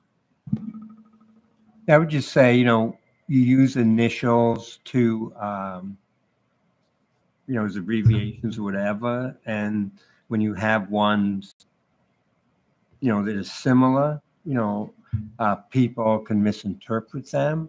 You know, you think if you had a, you know, an idea that might be looked at negatively, like a product like Facebook to change its name, or any product to change its name, and it maybe um, it would have used different different letters so people don't kind of look at things negatively. When you think of CRT these days, When I worked in Buffalo Public Schools, and I would say it was, this was like 10 years ago, we had professional development in CRT at the time was critically responsive teaching. yes, yes. Now they've Yes, they've right. changed the acronym. We know Yeah. education's a lot of alphabet. But the other CRT is getting that was fantastic publicity. Me, especially as a white female working in an urban setting, it was really beneficial for me to learn to be more cult- culturally responsive and to to know like how to go about that. Yeah. So uh, thank you for that. All right. Um, next person from the audience.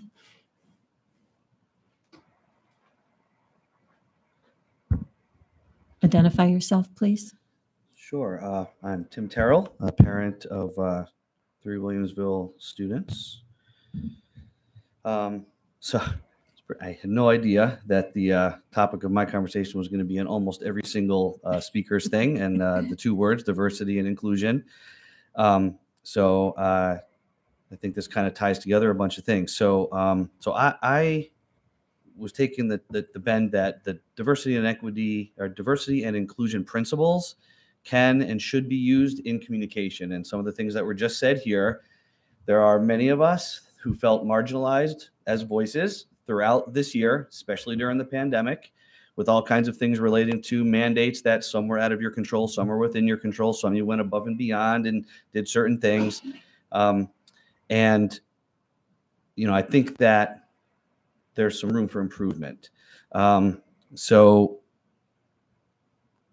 all right. So here, I just want to out of order a little bit. Um, so I believe that the principles can be reflected in how we handle the community collaboration between the district and parents, and specifically in regards to curriculum and uh, education. And I understand that uh, this uh, forum here, the community forum, is an attempt aimed at that to sort of have a dialogue, but it is complicated. As the first guy stated, it takes 10 minutes to have a dialogue. So I understand there's complexities involved in what I'm suggesting that we try to do more of these kinds of things. And it sounds like you have lots of boards going on with lots of parents involved. Um, but uh, I don't know. There's room for, to do more of this. Um, but I do have some examples that I'd like to point out. Um, so, one of the early Board of Education meetings, the board decided that it was okay to read a letter from a parent and uh, 20 other supposedly medical professionals that were in, strongly in favor of masking. And um, the closing remarks of the letter, it stated um, for the board not to listen to the vocal minority against masking. Personally, I think that is an extremely anti inclusive message that the board adopted when it read that letter aloud. So that's that's one problem. Um, so let's see here. Also, the fact of like vocal minority, it's kind of a statement thrown around because the board specifically stated that you did not do a survey, which is just one basic form of, of where is the spectrum of parents? Where are they on these issues? So um, to state that the vocal minority, that's unfactual. Uh, second example is I submitted a letter of my own about something regarding the vaccination information on the company or the district website. We had a short dialogue by email and then it just silence. You know, nothing got read at the Board of Ed meeting. I thought it was important, but apparently it didn't make a certain level. So I'm urging the board to really think about, and you guys are scrutinized a lot, and as it was said before, it's thankless job in a lot of regards, but I really strongly urge you to think about these basic principles that we talk about all the time, but a lot of us don't see it that way. I feel marginalized. I feel like the things that I come up here and speak about, I get a thank you letter, and that's it. Nothing like, wow, it was thoughtful. We've we've been thinking about this or been thinking about that. I don't know how other um, family members are feeling or uh, parents, but I feel as though we don't have a great dialogue here, especially around the hot topics. And they get hotter and hotter when we don't have a dialogue. I don't have the answer, um, but this is in your guys' realm. It's what you do. So I'm suggesting and urging you to come up with some solution that has more of these types of things, may, maybe focused around masking, because like November, December is going to come around. It's gonna, I, it's gonna happen again, and then we're going to have these mandates, and people are going to be upset, and uh, I feel like that's just a bad way to lead. So um, again, I don't, I'm not on the board, so I can only imagine how hard it is. I thank you for the time you put into everything. I just hope that we can try to find a way to have better communication and everyone involved. I will ask one question, Mr. Terrell. Oh, over hi. here. Sorry, my glasses aren't on. Yeah. Um, you know, you're making certainly very valid uh, discussions about we should do more of these kinds of things. Are you able to give us some specifics of what you would like to see done? Sure. Okay. Um, yeah. So, mm, so masking. So the beginning of the school year, lots of districts did send out a survey, but it was Survey on a sur- masking? oh, a sur- yeah, a survey on what's your opinion as a parent. Do you feel your children should be masked or not masked? You know, something along those lines. Okay. And it was specifically stated that we Williamsville did not do that because we're not going to run things this way, i.e., we don't care what you think, or whatever it means, but we're just left to be like, okay. So there's no communication there at all. That's just one example. Another All right. example would Can I be can I say something? Yeah, sure. Go ahead. Mr. Tim, because I don't want it ever to be thought of that we don't care, right? Sure. The masking survey was a moot point. So I, I understand, you know, if people want data that we can do something with, right?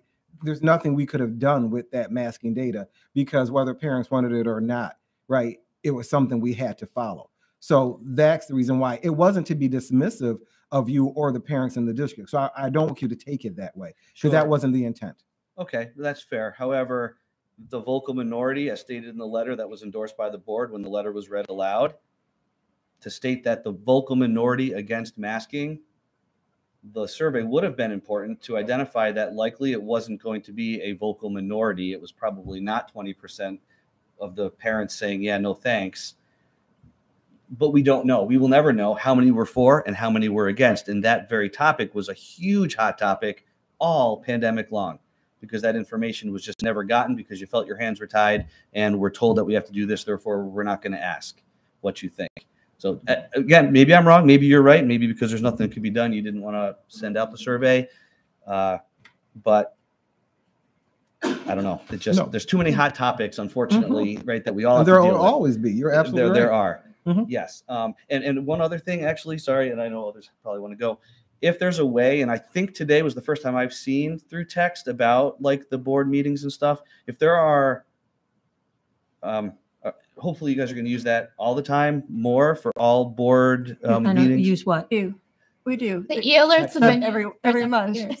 Every month, yeah. Maybe I'm just starting to get them now because I must have signed up more recently. Um, but I I found that I had to go through the website to figure out when things were happening, as opposed to a WITS email or a text um, stating that community expression was coming up. Okay. Can I ask a follow-up question? Are, are you saying that you feel like you're getting too many communications? No, about other things, but maybe not about how to participate in, you know, a CRSE parent committee meeting, a parent committee, or a community discussion about other important topics that have come up. I don't know where to look for those, and I don't see them coming through. I see weekly updates, I see other things coming through the text updates, but other things that are important to the community, I don't see coming through those channels. I don't know what channels they come through, but I don't see them. Yeah, the, the community update, the weekly community updates are where a lot of that information is. Dr. Brown-Hall does a really good job, and he's been in the last, I think it's been at least three times that he's mentioned the um, diversity, equity, and inclusion committees and trying to get people to, Okay. and, you know, so go go back to one of those and check it out because the emails in there, if you're interested in participating, who to send the email to to say, sign me up, I want to be there. So. Okay, great. And, and they Yeah, come multiple ways. So they, they come to your WITS box, they'll come to your email, and they'll come also through your text if you sign up for that. We we do those different Yeah, modalities because we figure, you know, hopefully the parent will see it from one of those angles. Um, if you have another idea as to how to push out information, we're always looking for ways to be able to get that information to you. I can tell you that, like my husband will say, my phone will go off and his his phone will go off, and he'll go, "It's the district," you Right. know, and and so he doesn't read it because he knows that I'm going to tell him what it says. Right. Um, but then it, then it'll be on WITS and it'll be on the website, and then before you know it, it's coming through my email and my phone. And so and Nick tweets it out too. yeah. Oh, I saw it three times today. tweets, right? Yeah. Yeah. So, you know, I, my wife says the same thing. And then she, in a way, it just brought up what she said. So she'll, maybe she doesn't want me to say it, but oh well, I'll just get yelled at at home. Um, uh, sometimes she does say it's like almost overwhelming the, the what she gets. Like it's this, this, this, and this. And then she forgets where something she might find is important. Point. Um, which kind of what you're saying, and then and then it goes by the wayside. Like, oh man, I wanted to be on that committee, but I forgot because I got A, B, C, and D set. So maybe there is a better way we can streamline that, or what our community members feel is important. Maybe a list on the email of this is what will be. I'm just trying to think off the top of my head. Mm-hmm. I don't know if we could do this, but I think maybe it's something we could all discuss. Or maybe we can encourage parents to join the communication subcommittee so that we can get all those wonderful ideas about communication between the district and parents written down because it's a strategic plan goal and an action item. So maybe we could do that. Mm-hmm. Sure. I think that's smart because I know when we had the strategic plan, we were able to get seven additional parents added, Eight. eight additional mm-hmm. parents added. But if we look at the size of our district, I would have expected we would have had a lot more. I would have hoped that we would have had a lot more, right? Um, I do understand that they meet during the school day and that can be a barrier at, at, at some times, but I feel like as a board, as a board member, sometimes I'm racking my brain thinking, what else could we do?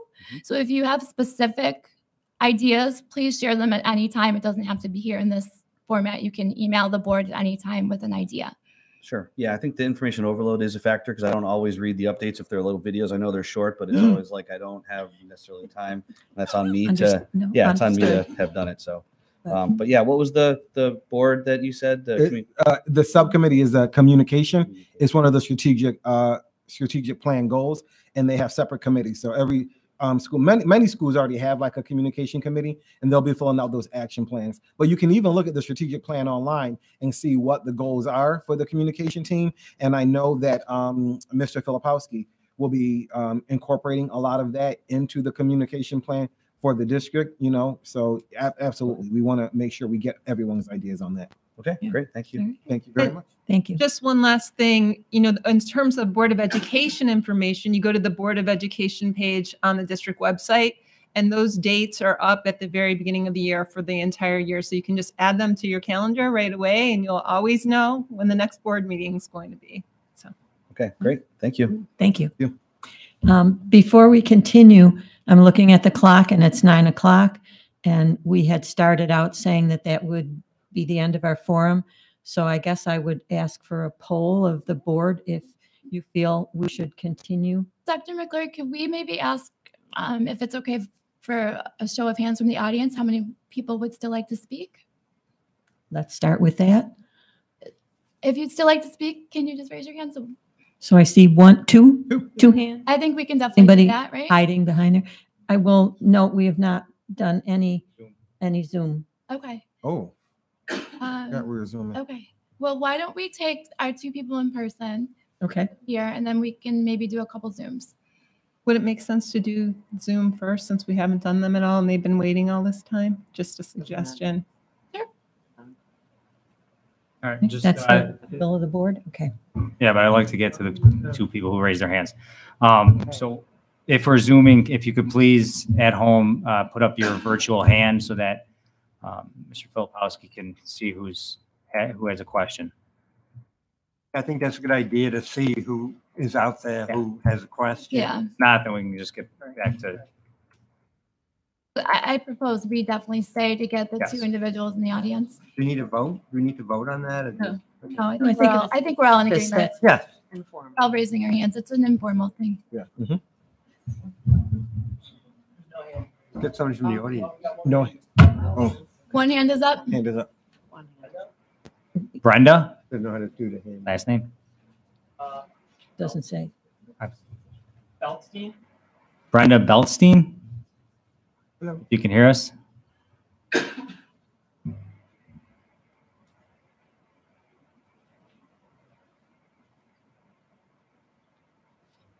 got to unmute Brenda, you have to unmute.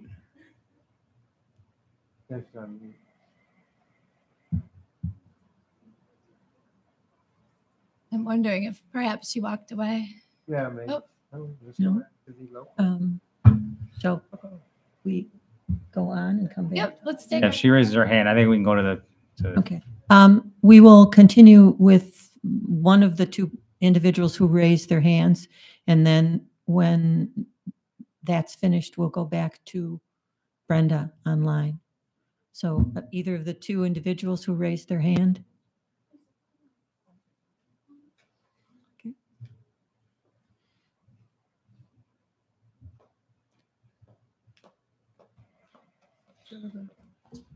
Hi, everyone. Uh, my name is Jonathan Rich. I'm a father in the district.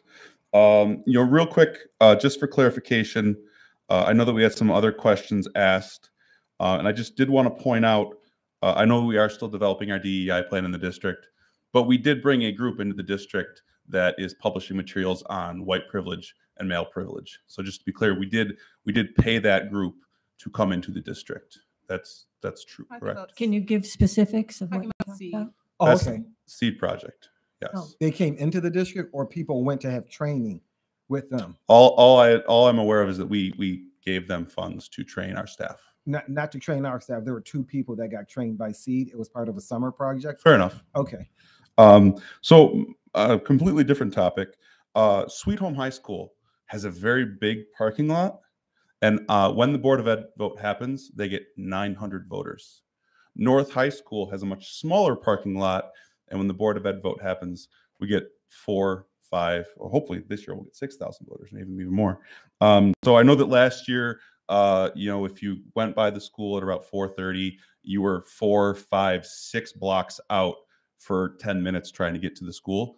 Um, I don't know if there's something we could do, uh, maybe not this year, but next year to have multiple voting locations or move voting to Casey. You know, I know that we have events happening at North on the same day.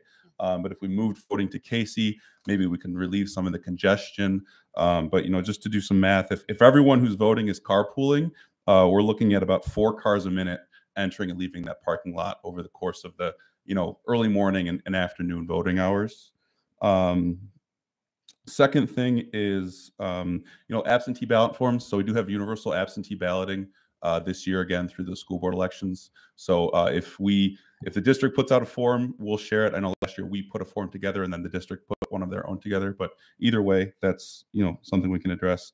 And then the last one is When you say we, who are you referring to? uh, students first. So we we put a. I was gonna make sure you're clear. Yeah, yeah. might not know, Um, I and then the, the last thing is so uh, we can collect signatures as a community to get um, a student representative on the school board. We can collect 500 signatures, and and I think that's a great initiative that we could do. Uh, but the board could also just choose to put that proposition uh, up for vote. Um, I think that would be a, a good thing for the district to do it. It is kind of a complicated thing. You know, most school districts only have one high school. Uh, obviously, Buffalo is an outlier, but Williamsville has three, and the the state laws don't have any provisions on having multiple um, students uh, to sit on the board. Um, but I think it'd be something worth investigating. Uh, so again, uh, appreciate if you guys would look into it. Thank you very much. Thank you. One have any um, comments for Mr. Rich? Okay. But I can I just make one comment about um, students? I know uh, we have a variety of groups, the Inter-High Council, uh, and a number of ways that we gather information from students. Uh, I think, you know, school districts have used that, uh, having a student, you know, being a ex post facto member. Uh, sometimes, you know, when you're sitting here, it's nice to get feedback from a student uh, who might have insight that we wouldn't have. I know many of you have young people in the schools now, and that helps. For us older people, it's just reminiscing about what it might be like. So. I will just make a comment. So I will say that we have worked extremely hard as I am a very active PTSA member.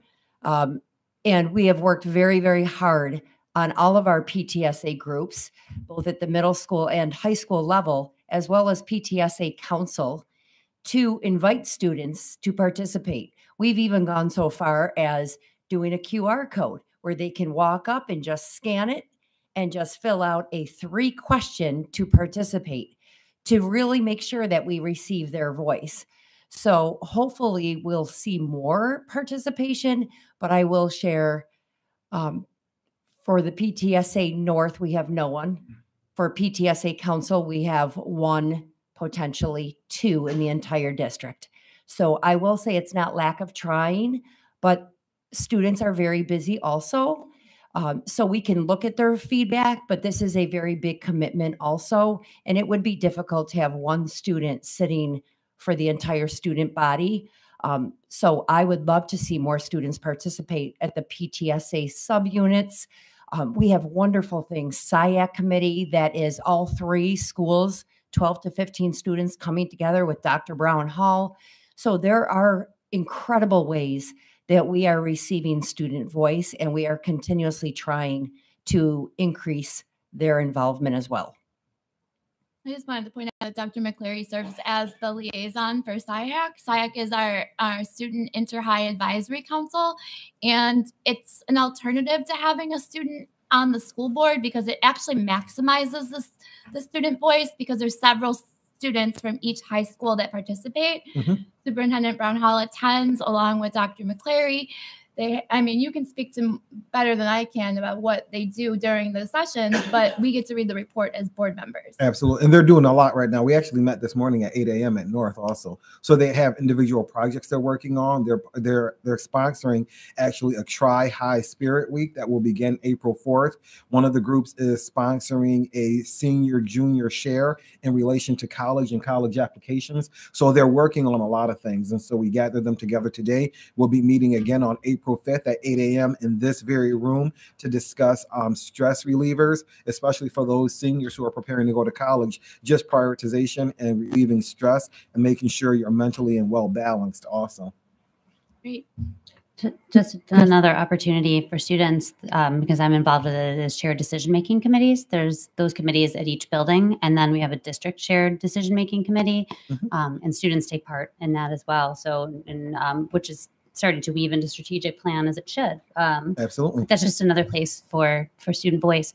Also, just to um, comment on what Mr. Rich said about the voting location, um, it is also an evening of, of the district vote. There's a band concert at North that night, and so I know we've already approved the location and everything. But in looking at my calendar, I thought that's important for us to know because that will um, take up a good piece of the parking lot as well Okay.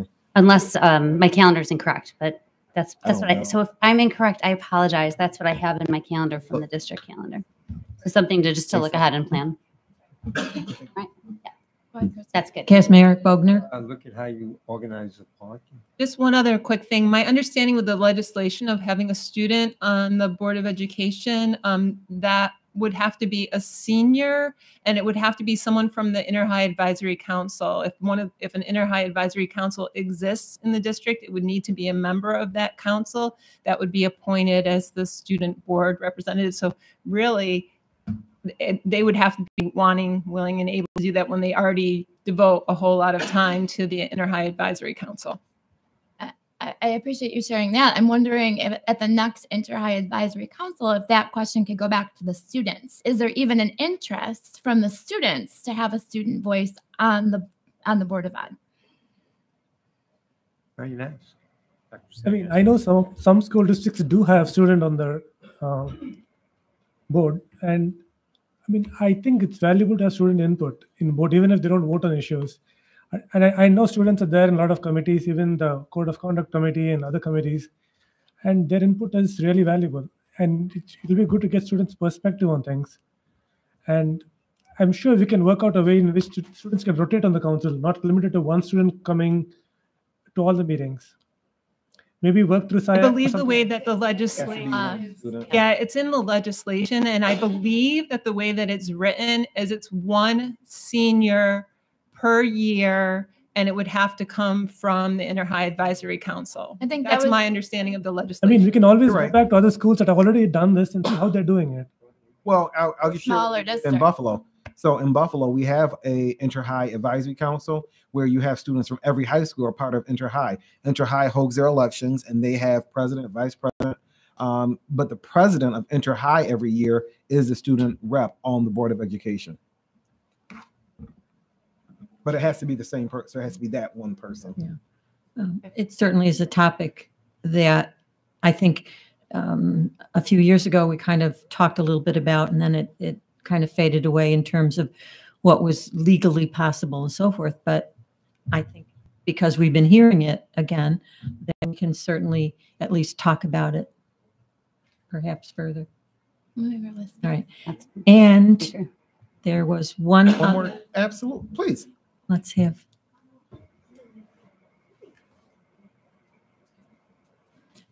And Hi. you can, yeah. I'm just- Lydia Ramos. How are you? Hi, Um, yeah, when it got to nine o'clock, I, I was like, well, it's okay. But so thank you for staying. Um, and having being able to have the opportunity, I was going to ask a question about achievement gaps and learning loss, and if we had metrics for this year to kind of know where our children are prior to um, any type of state assessments, like if that was something that was going on. But after hearing from the rest of the community and and you know absorbing their perspective and things that are on their mind, I just you know I think it's really important that when we have these community forums that there are like more voices. There's more, this community is what it is. And there are diverse perspectives. There are all types of cultures and languages. I think you all said 505 English language learners, mm-hmm. 39 languages in the district.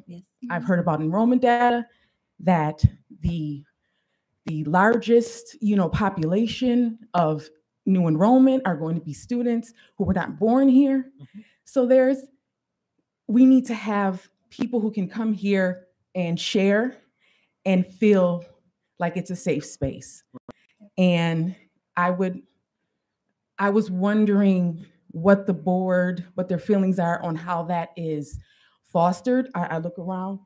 Um, sometimes you're the only person in the room, you know, the only of just your kind of onlys or, you know, your group or how you identify.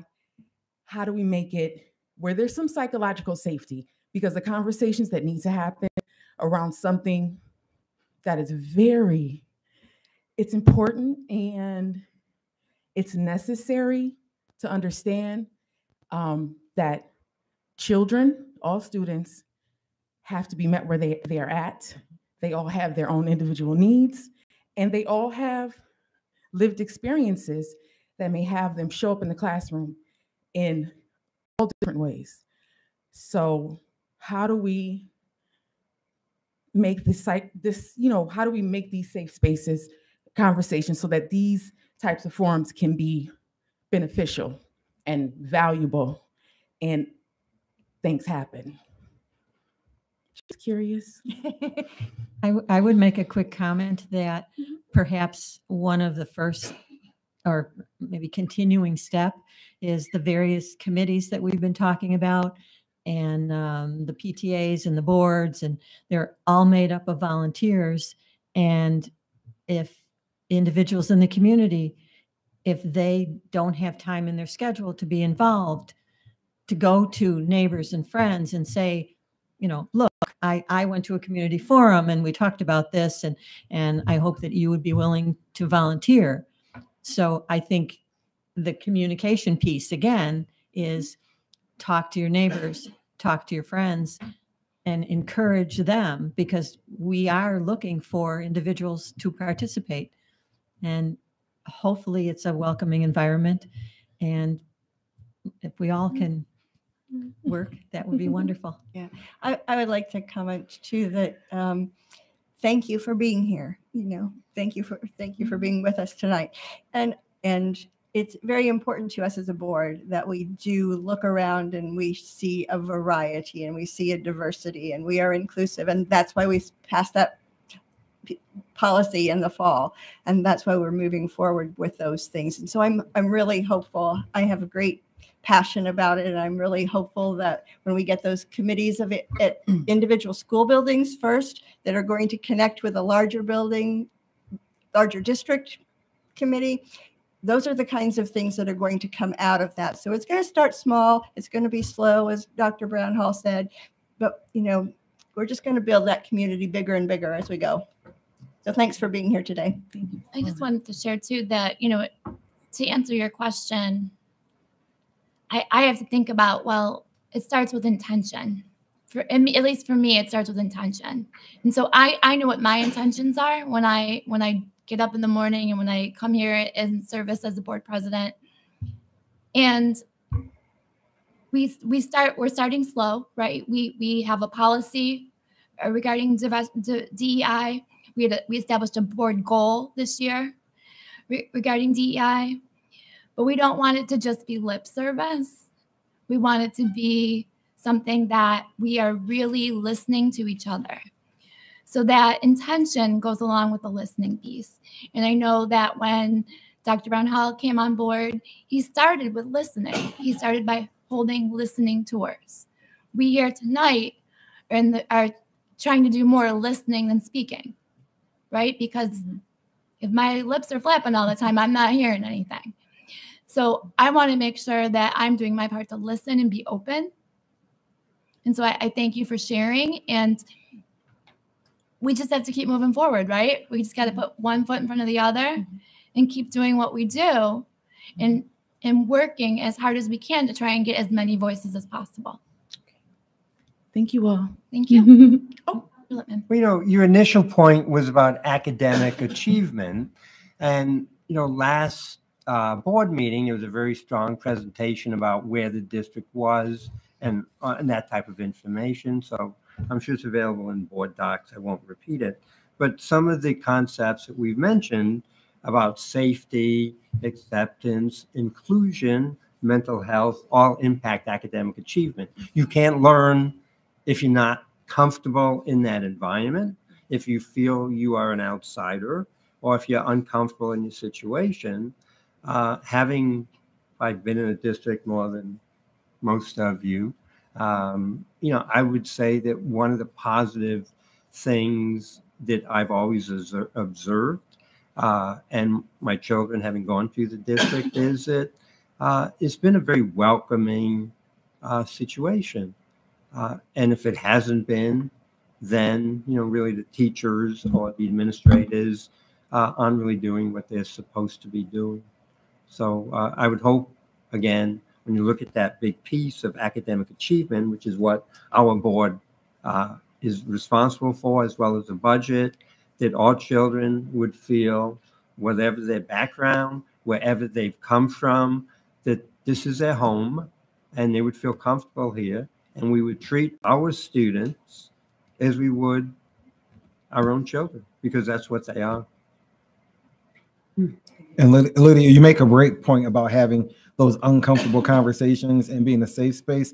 But we have to realize also there's going to be many times we're going to have to have uncomfortable conversations in spaces that we don't deem to be safe because that's how we advance the conversation, right? But we have to realize when those times are because sometimes it's appropriate to do it and sometimes it's not. And so just being mindful of that too, as, as I had to be tonight. So thank you very much, Lydia. Thank you all. Thank you. Thank, Thank you. Um, Mr. Bisceglia, did we find?